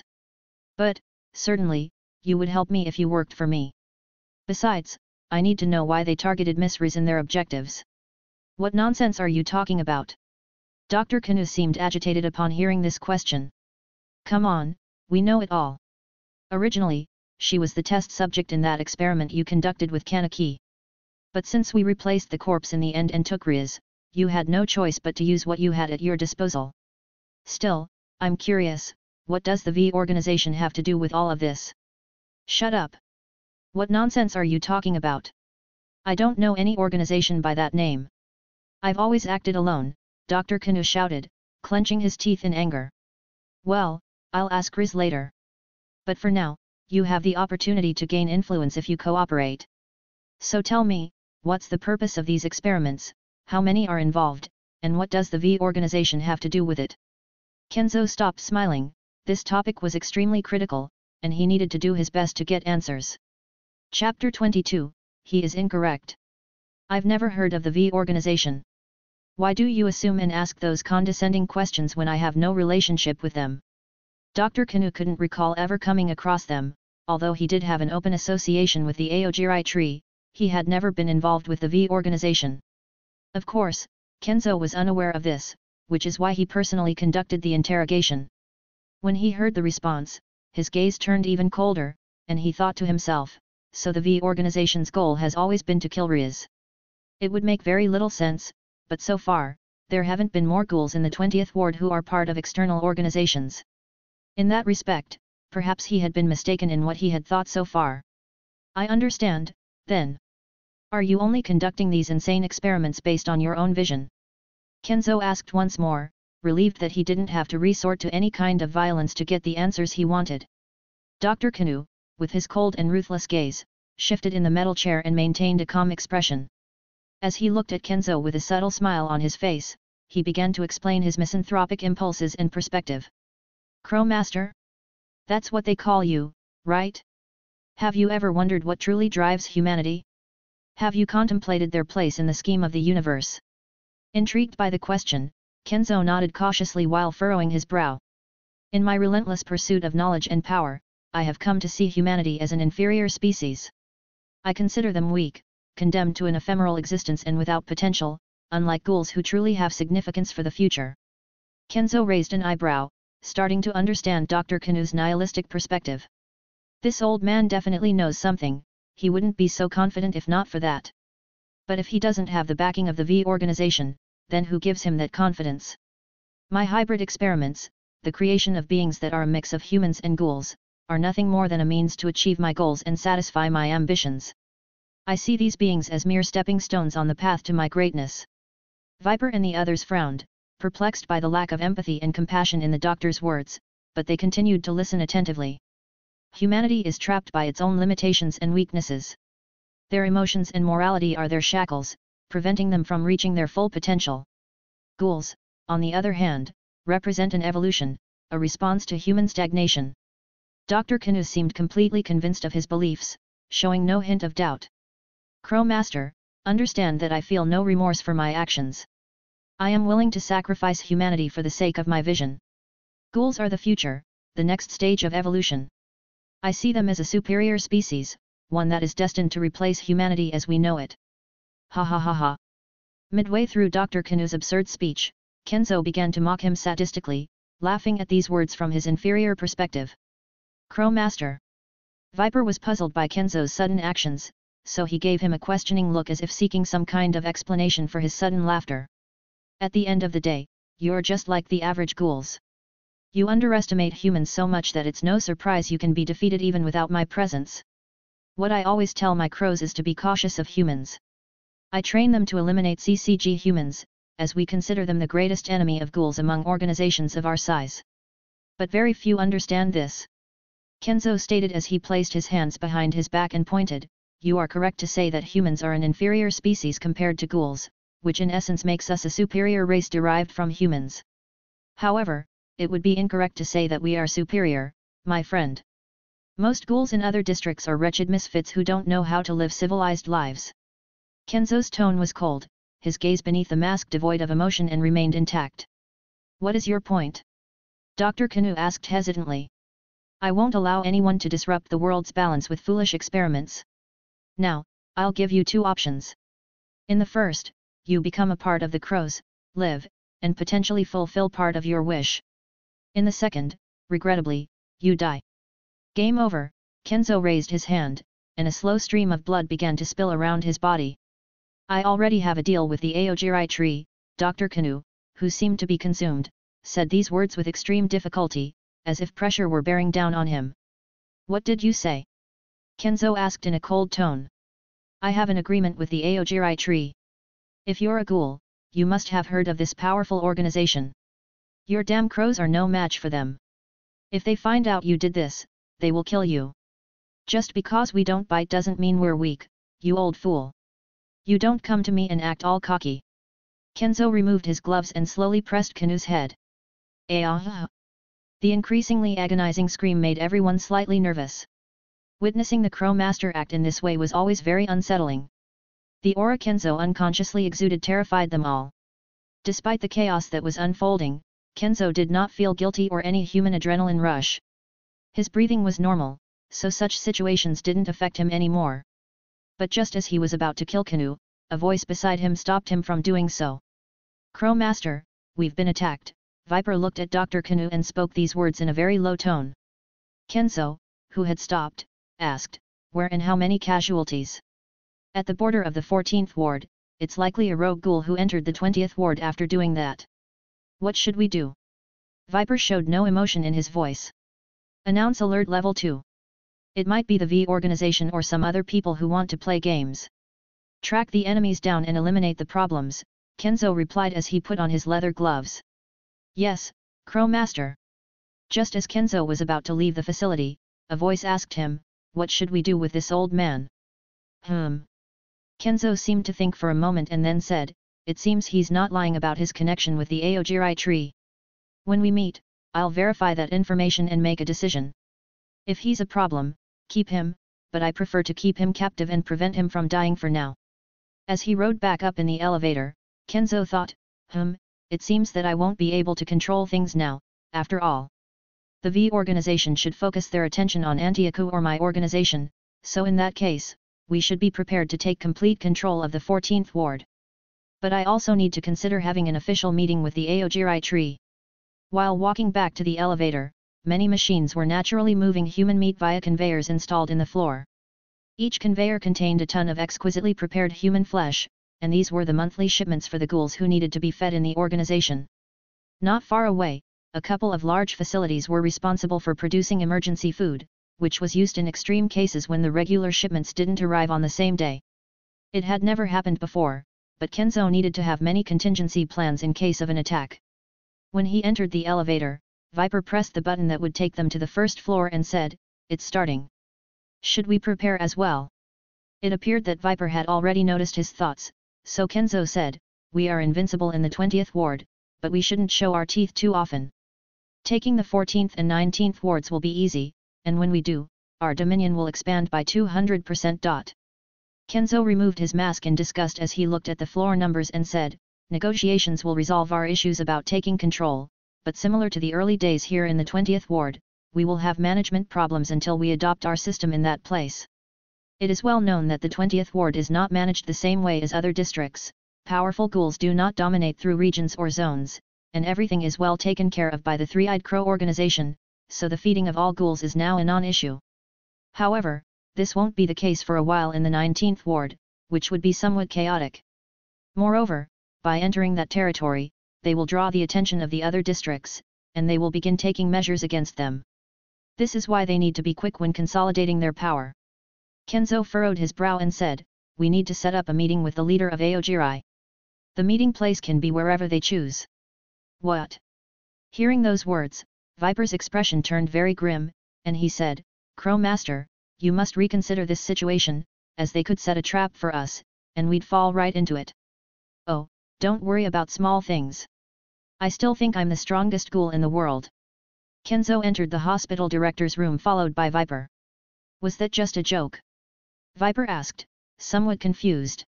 Of course, I have no delusions of grandeur. In this world, I could be buried by many enemies, my girlfriend could also bury me if I'm late tonight.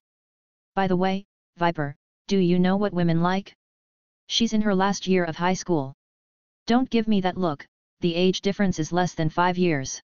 I think I should give her a gift. You have a lot of experience with women, what would you give someone? Kenzo walked to the desk and retrieved some dusty keys. He looked up and said, Well, although it wasn't a mistake, I feel that she'll be the woman of my life. Viper sweated coldly, does the famous Crow Master have a split personality right now? Where did his feared Crow Master personality go?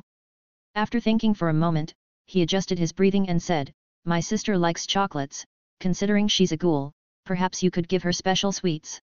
You have some good ideas, by the way, when does the betting season start? Our horse will win this time, I have faith. Crow Master, we always lose. Chapter 23 The Song of Darkness To assess the extent of the problem, Kenzo's first action was to withdraw the lower-ranking B-tier guards. From this point on, with the elevated threat alert, only A-tier ghoul groups would be on guard, and in most places, they would be under the surveillance of the organization's cameras. Of course, to accomplish many of these things, they would need to be cautious and inform the Anteiku group about what had happened and what could happen. How is Rize? Kenzo, after finishing some important matters that were meant to be considered only by him, directed a question to Viper. She's fine, she eats a lot but she's fine, the only things she does are read, drink coffee, and go back to her room to sleep. Viper listed the standout aspects of that woman and told Kenzo that there was nothing out of the ordinary that he should be concerned about. At least in that regard, Kenzo didn't have any problems. While he wanted to talk to her about the reason the V organization was pursuing her, he believed it would be better to keep a low profile. For now, he shouldn't press the issue too much, as she might manipulate the information due to the importance he was giving to something that possibly shouldn't matter much to her. Oh, so she's using us until she fully recovers from her injuries and her captors lose track of her once again. Given that, you should keep security discreet. I want to see what she does in the coming days before deciding to visit her. Kenzo walked forward without looking back.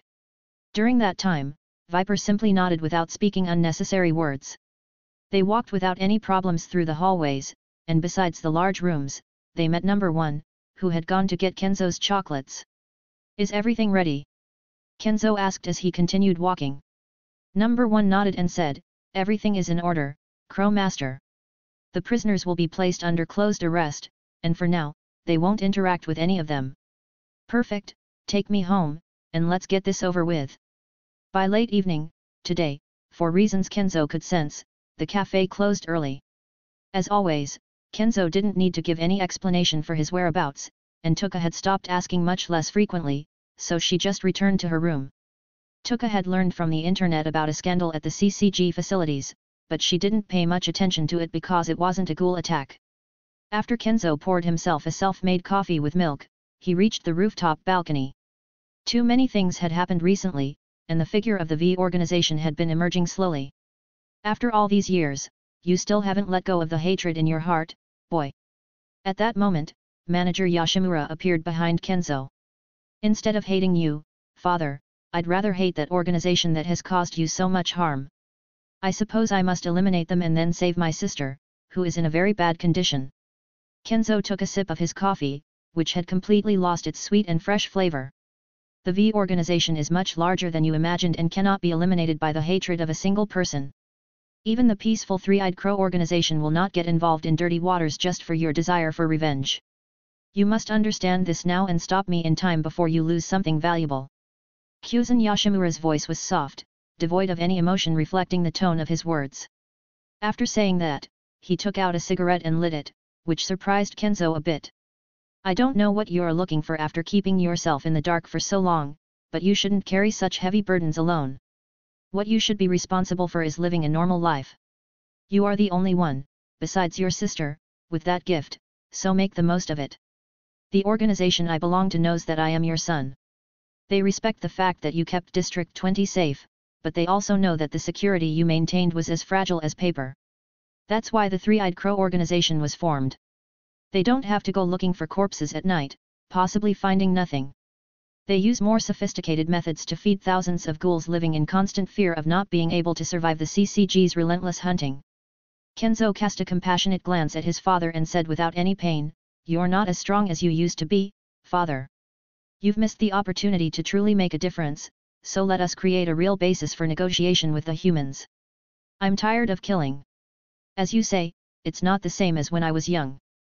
You are different from your sister, and you are aware of my daily pain, unable to protect your mother back then. Kuzen Yoshimura knew that this time it was his son's turn to embark on a bloody path against the V organization, and he couldn't prevent it, but at least he wouldn't do it alone, and he wasn't foolish. I'm different from you. In fact, I'm different from my sister and from any ghoul with aspirations to influence. I'll take it upon myself to show all the ghouls the true path they should follow if they don't want to perish in the impending Great War. Kenzo had stopped feeling intense hatred towards his father a long time ago, now, he just let it pass. First, we will take District 14, establish an unbreakable dominion as you allowed to happen in this place, and a new safe zone will be created for all those who wish to live in silence without bothering people. That is the organization's Plan A but if the humans attack us, Plan B will be initiated, and that would only be in an extreme case. Kuzen Yoshimura looked at his son and noticed many changes in his gaze. He had allowed the influence of the Three-Eyed Crow organization to grow, as they swore they would bring about a much more sustainable peace in this place, so he accepted his son's involvement. There wasn't much he wanted to say to his son, simply to make sure he didn't make a mistake and to stay strong to help the weaker ones. Although his goal was very different and more ambitious, perhaps Kenzo was the key to allow both worlds to coexist in one without being disturbed. Maybe you can do it. The world your mother wishes for is one where we are not treated as monsters, and we don't attack the innocent. At least, you took the best of us in our last years. Tap tap. At this moment, they heard footsteps behind Kenzo. Hmm. Father and son looked back at the same time. Ahem, he's here, manager. Touka appeared behind them with a box full of things. She had come to find Kenzo but hadn't expected the manager to be here. Oh, Touka, you haven't slept yet. Manager Yoshimura chuckled softly. I just came to bring Kenzo some food that my friend sent me. Touka lifted the box filled with sweets and many other items in her hands. Upon hearing this, the store manager simply nodded. Here, you have it. Don't just eat the first thing you find and run off. Touka blushed slightly and handed the box of sweets to Kenzo. Thank you, my dear Touka. Kenzo took it without being pretentious. In this cafe, most of the customers are ghouls, so they only eat human flesh, and regular food doesn't exist. Although Kenzo consumes both types of meals, his diet is balanced to keep him strong. Although the store manager sometimes prepares breakfast, Kenzo often eats quickly because the wall with his father still existed. It was something he couldn't avoid, and even though he always showed respect, it was now difficult to maintain a father-son relationship. Kenzo spent the first 13 years of his life in the home of his adoptive father, so being so close to a man who didn't exist back then felt strange. Moreover, everything he knew made it impossible to hide what he felt. Kenzo picked up some candies at random and started eating them. Why don't we open a restaurant in the future? The special food we prepare would become very famous among customers. Kenzo, holding an onigiri in his hand, proposed something that seemed to come out of nowhere. Hey, are you joking? How is that even possible? Upon hearing this, Touka laughed and patted Kenzo. That can also be considered. Store manager Yoshimura said with a smile at that moment. In reality, it's impossible. I'm the only one with taste buds in this house. All that coffee has seared their tongues. Kenzo considered it more clearly. The store manager didn't speak, he just smiled without saying a word, then dropped the cigarette butt he was holding to the ground and extinguished it.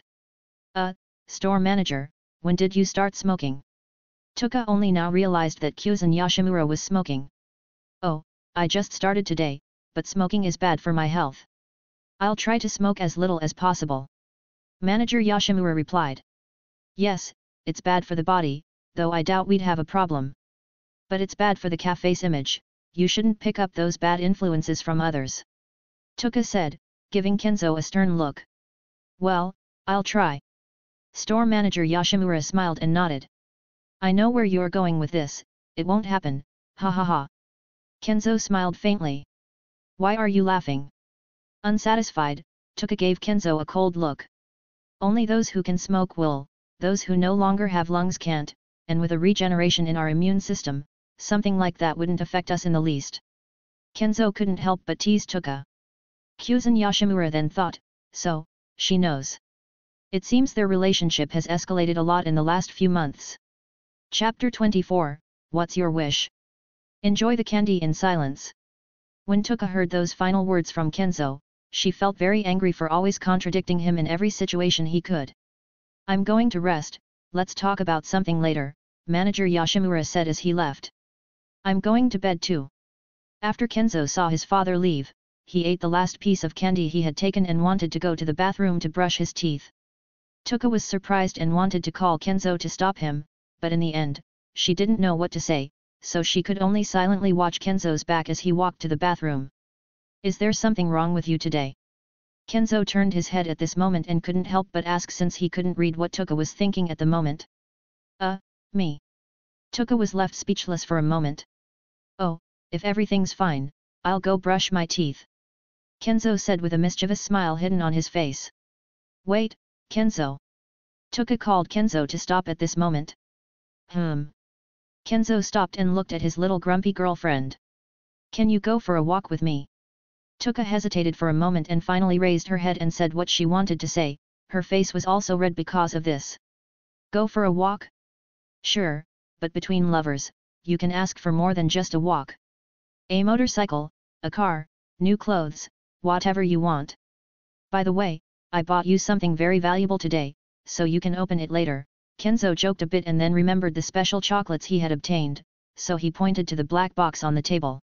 Go to hell. Upon hearing this, Touka blushed even more and was about to take a step forward to punch Kenzo. You're much slower than I expected, you should eat much more. Kenzo didn't even see the trajectory of the punch heading for his stomach, he avoided it and with an increase in speed, he appeared behind Touka and held her gently by the waist. What? Don't you want to take a bite of me again? Kenzo whispered these last words into Touka's ears. Touka wanted to break free from this cocky grip, and suddenly, when she could turn around, she found herself wrapped in Kenzo's broad embrace. Now, what will you do to defeat me? Kenzo, who was still hugging Touka, noticed her silence and asked, by the way, it's very late, is something bothering you? It seems you don't want to go out and just walk. Wait, do you want to go to a hotel? Stop saying embarrassing things. Touka gave Kenzo a headbutt on the chin, and he fell onto the nearby bed but never let go of her. After wrestling for a while on the bed, Kenzo, who ended up winning, looked at Touka, who had remained motionless. Kenzo, why do you run out every night and not come back until early in the morning? Touka thought about it and finally asked what was bothering her. Upon hearing this, Kenzo said, It's nothing, I just like going out because it's nighttime. First of all, Kenzo didn't want to involve one of the few people who could genuinely worry him. Touka is still a bit naive, and in situations of real danger, she might make poor choices. Involving her directly with the organization Three-Eyed Crow is something he can't do because it would completely expose his identity as the Crow Master. For now, and for a long time, he wants his human identity to be known only by a select few, as this would bring multiple benefits and prevent the authorities from openly investigating his businesses. Due to this major issue, he would never reveal his human identity as a ghoul. Not for now. There are many things in motion, and it would be a problem if his identity were exposed. Recently, many ghouls have been engaged in a bloody fight in District 20. Are you involved in that? Touka put her feelings aside, looked at Kenzo, and asked him seriously about it. Um. Kenzo nodded without denying it. What is your goal in getting involved with that? Why are you doing this? Touka asked again, which was what she had wanted to ask for a long time. I want to create a world where ghouls don't have to hide and adapt to humans. I'm fighting for a world where humans and ghouls can create a new way of life. Kenzo looked into Touka's eyes and then turned, lying down on the bed. I joined the Three-Eyed Crow organization when I was 12. They trained me and shared their goal, which seemed very unrealistic at the time. But now, Touka, we have a very high chance of achieving it, the same world you've dreamt of. Upon hearing Kenzo's response, Touka's expression darkened immediately, and she clenched her teeth in anger. So why does it have to be you? Touka asked, her eyes filled with heavy emotions. I'm strong, Touka, so strong that I can achieve this impossible dream for thousands of ghouls. I know what you're thinking, but I'm not foolish, dying is not in my plans until I have many children. Kenzo smiled calmly as he spoke these words. Many children. You like kids? Touka asked, surprised. That's a somewhat complicated question. I'd like to have many children when this world is adapted to protect them. Kenzo's large hand reached out to Touka and pulled her to his side. In the past, Touka would push Kenzo away for touching her so abruptly, but this time, she did nothing.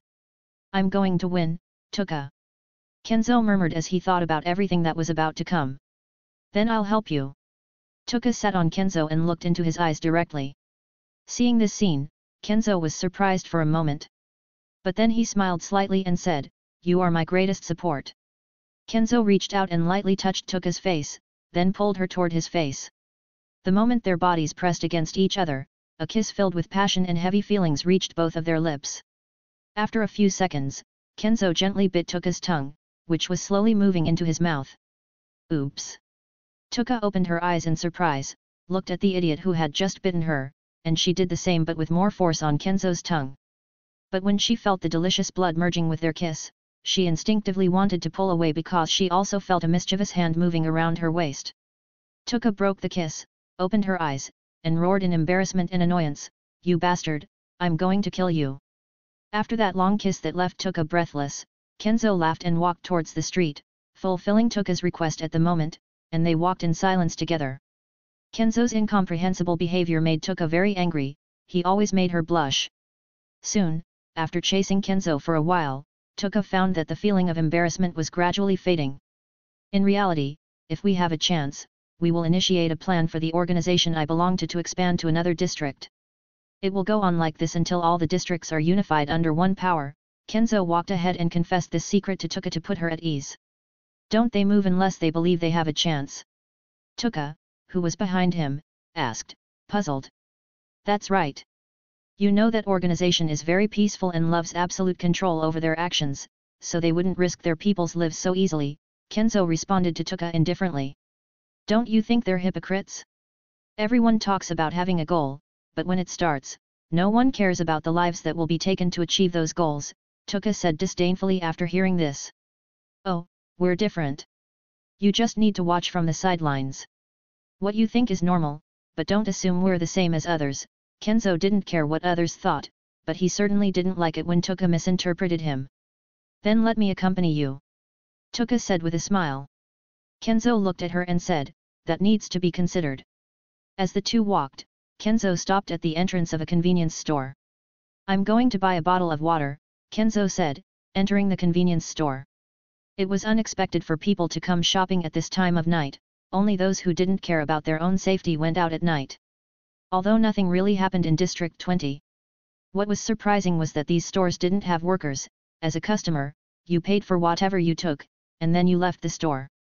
Some of the people who came only bought condoms and mints, which made Kenzo buy them for fun and he glanced at Touka, who was looking at some of the products on the shelves. Chapter 25, Whenever You Want After buying everything, Kenzo returned to Touka. On the street, Kenzo took one of the snacks from the bag and ate it while walking. Touka glanced at the delicious food Kenzo was enjoying and couldn't help but pout. We're genetically engineering food that ghouls can consume. For now, we've only succeeded with regular wines and chocolate, Kenzo took out a silver-wrapped chocolate bar and handed it to Touka. Is it the same as the one you gave me? Touka held the chocolate bar with trembling hands, and her eyes shone with excitement. Although ghouls can't eat regular human food, there are still a few things they can taste, like coffee and water. Anything more than that is simply impossible.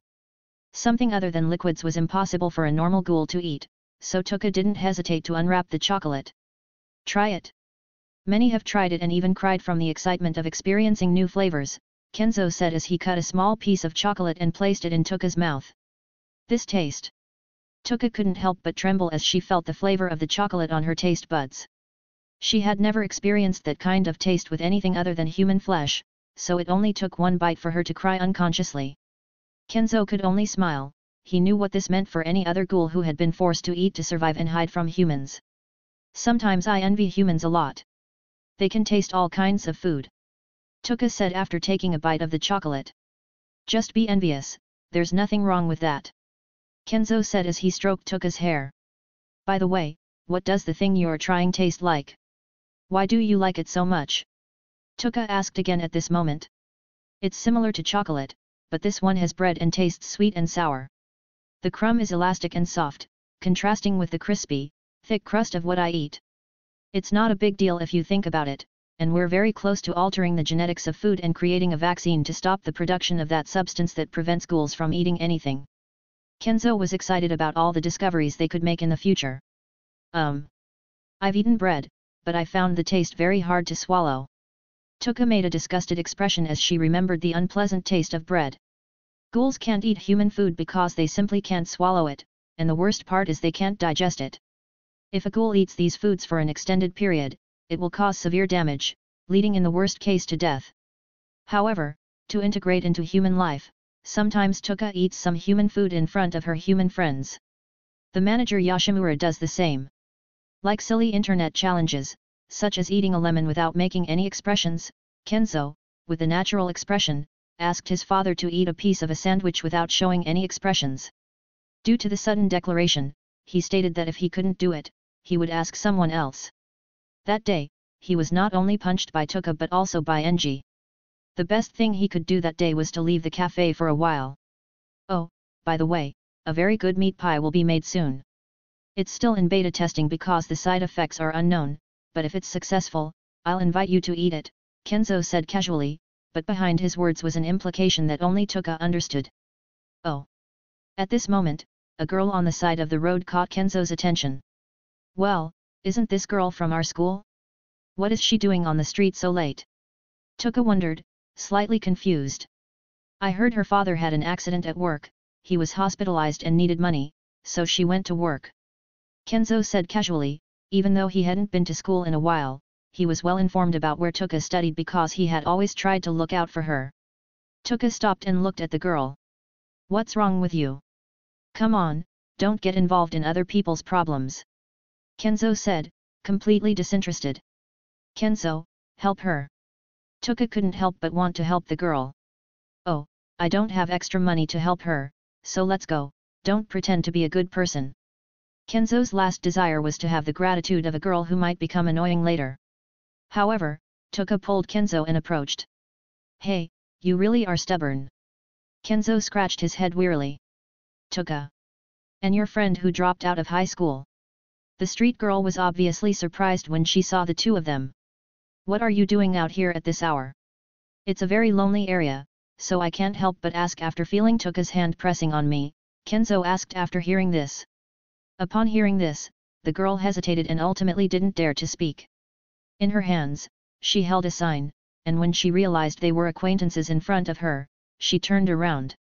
Kenzo frowned, reached out, and looked at the sign. You can kiss me for only 1,300 yen. Is that so? I'm sure many would consider this the impossible dream of a knight. Kenzo, with his tired expression, fell silent. Touka was also surprised but didn't judge the girl for it. On the contrary, she respected this girl a lot because she knew that she was doing everything for her father who was hospitalized. As many say, laughing at the poor and not laughing at prostitution is just hypocrisy. You should go back home, there have been ghoul attacks nearby recently. Kenzo took the sign from the girl's hand. Oh, took his friend, give it back to me. The girl was startled and tried to retrieve her sign. You should take care of yourself, if something happens to you, your father would never forgive himself. Kenzo said nothing. After returning the sign to the girl, he turned and left. Hey, we should help her. But at that moment, Touka stopped Kenzo. Do you really want to do that? Kenzo was slightly annoyed by Touka's attitude, she needed to learn to distinguish between empathy and pity. Lately, I've lost a lot in gambling. Kenzo thought about the money he had lost from gambling, and it only infuriated him more. You had told me that you would do whatever I asked. Touka seemed unwilling to back down from this request. Kenzo looked at Touka. Even though this woman generally tended to be grumpy, she liked being a good person, and she did it without even realizing it. It's not that Kenzo didn't want to help, he was already helping people too much, so he couldn't care less about others when he was out and about. Thinking about this, Kenzo touched the not-so-thick wallet in his pocket and then looked at the girl's sign, which read, You can kiss me for only 1000 yen. Even if only 1000 yen was given, it was estimated that the girl's father's hospitalization fee wasn't that high.